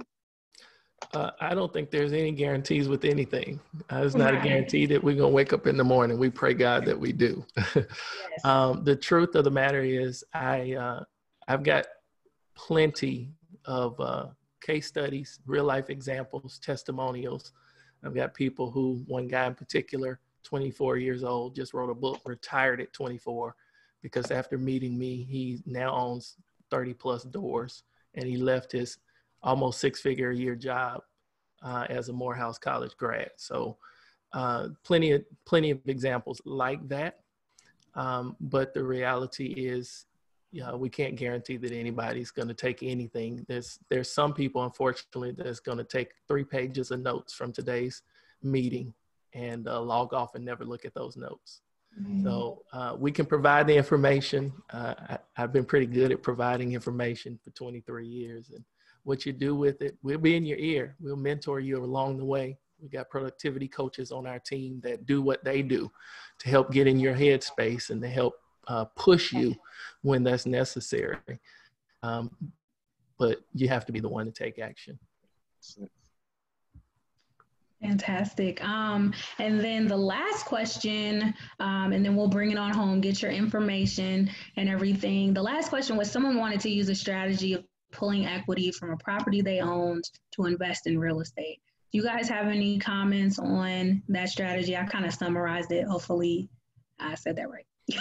but I think that's what they're asking. I'd be careful in leveraging anything you have. I mean, I'm a I'm not debt free, Dewayne, but I like the mentality. So I mm-hmm. wouldn't want to refinance my own personal property to fund my business. I would try and find the money elsewhere. I mean, it's it's highly lucrative. I saw that question. We got half a million dollars worth of equity. I mean, right now the banks aren't loaning on their LTVs as high as they used to. Some banks aren't even doing HELOCs at all. So you might have a difficult time doing that. But if you own it free and clear with a half a million, that's a pretty good risk. But just using your own capital in your home and putting that at risk, that, that I'd be a little leery of that. So um, the way you would do it, if you if you wanted to go down there, just get a home equity line of credit and pull from that. But now you've got a monthly note you got to pay, whether you're making money on that on that capital or not. Um, so I find it better to find a deal, get that deal that makes sense, and then go to people and say, hey, I want to fund this deal. Now, maybe you're giving up some of the money to do that, but you're not putting anything at risk. And one of the biggest things in this business is not how much you make, it's how much you don't lose. If you don't lose any money, you're doing great. I've never lost a penny, but there's been some deals where I broke even, and I was grateful to have done that. And the reason I did break even is because I bought the house correctly. I didn't buy it with such a thin margin of error that if the sky was raining one day, I lost business and lost money. So mm-hmm. I'm risk adverse. I like to use other people's money. Networking allowed me to do that. And if you're patient or JV, there's four guys sitting right in front of you that could help you do that, maybe find a deal. I would encourage you reaching out to one of us or somebody in your community to help you joint venture on a deal. You might, like I said, you might not profit as much, but you're not going to lose as much if you make a mistake. Good. Any other comments on that?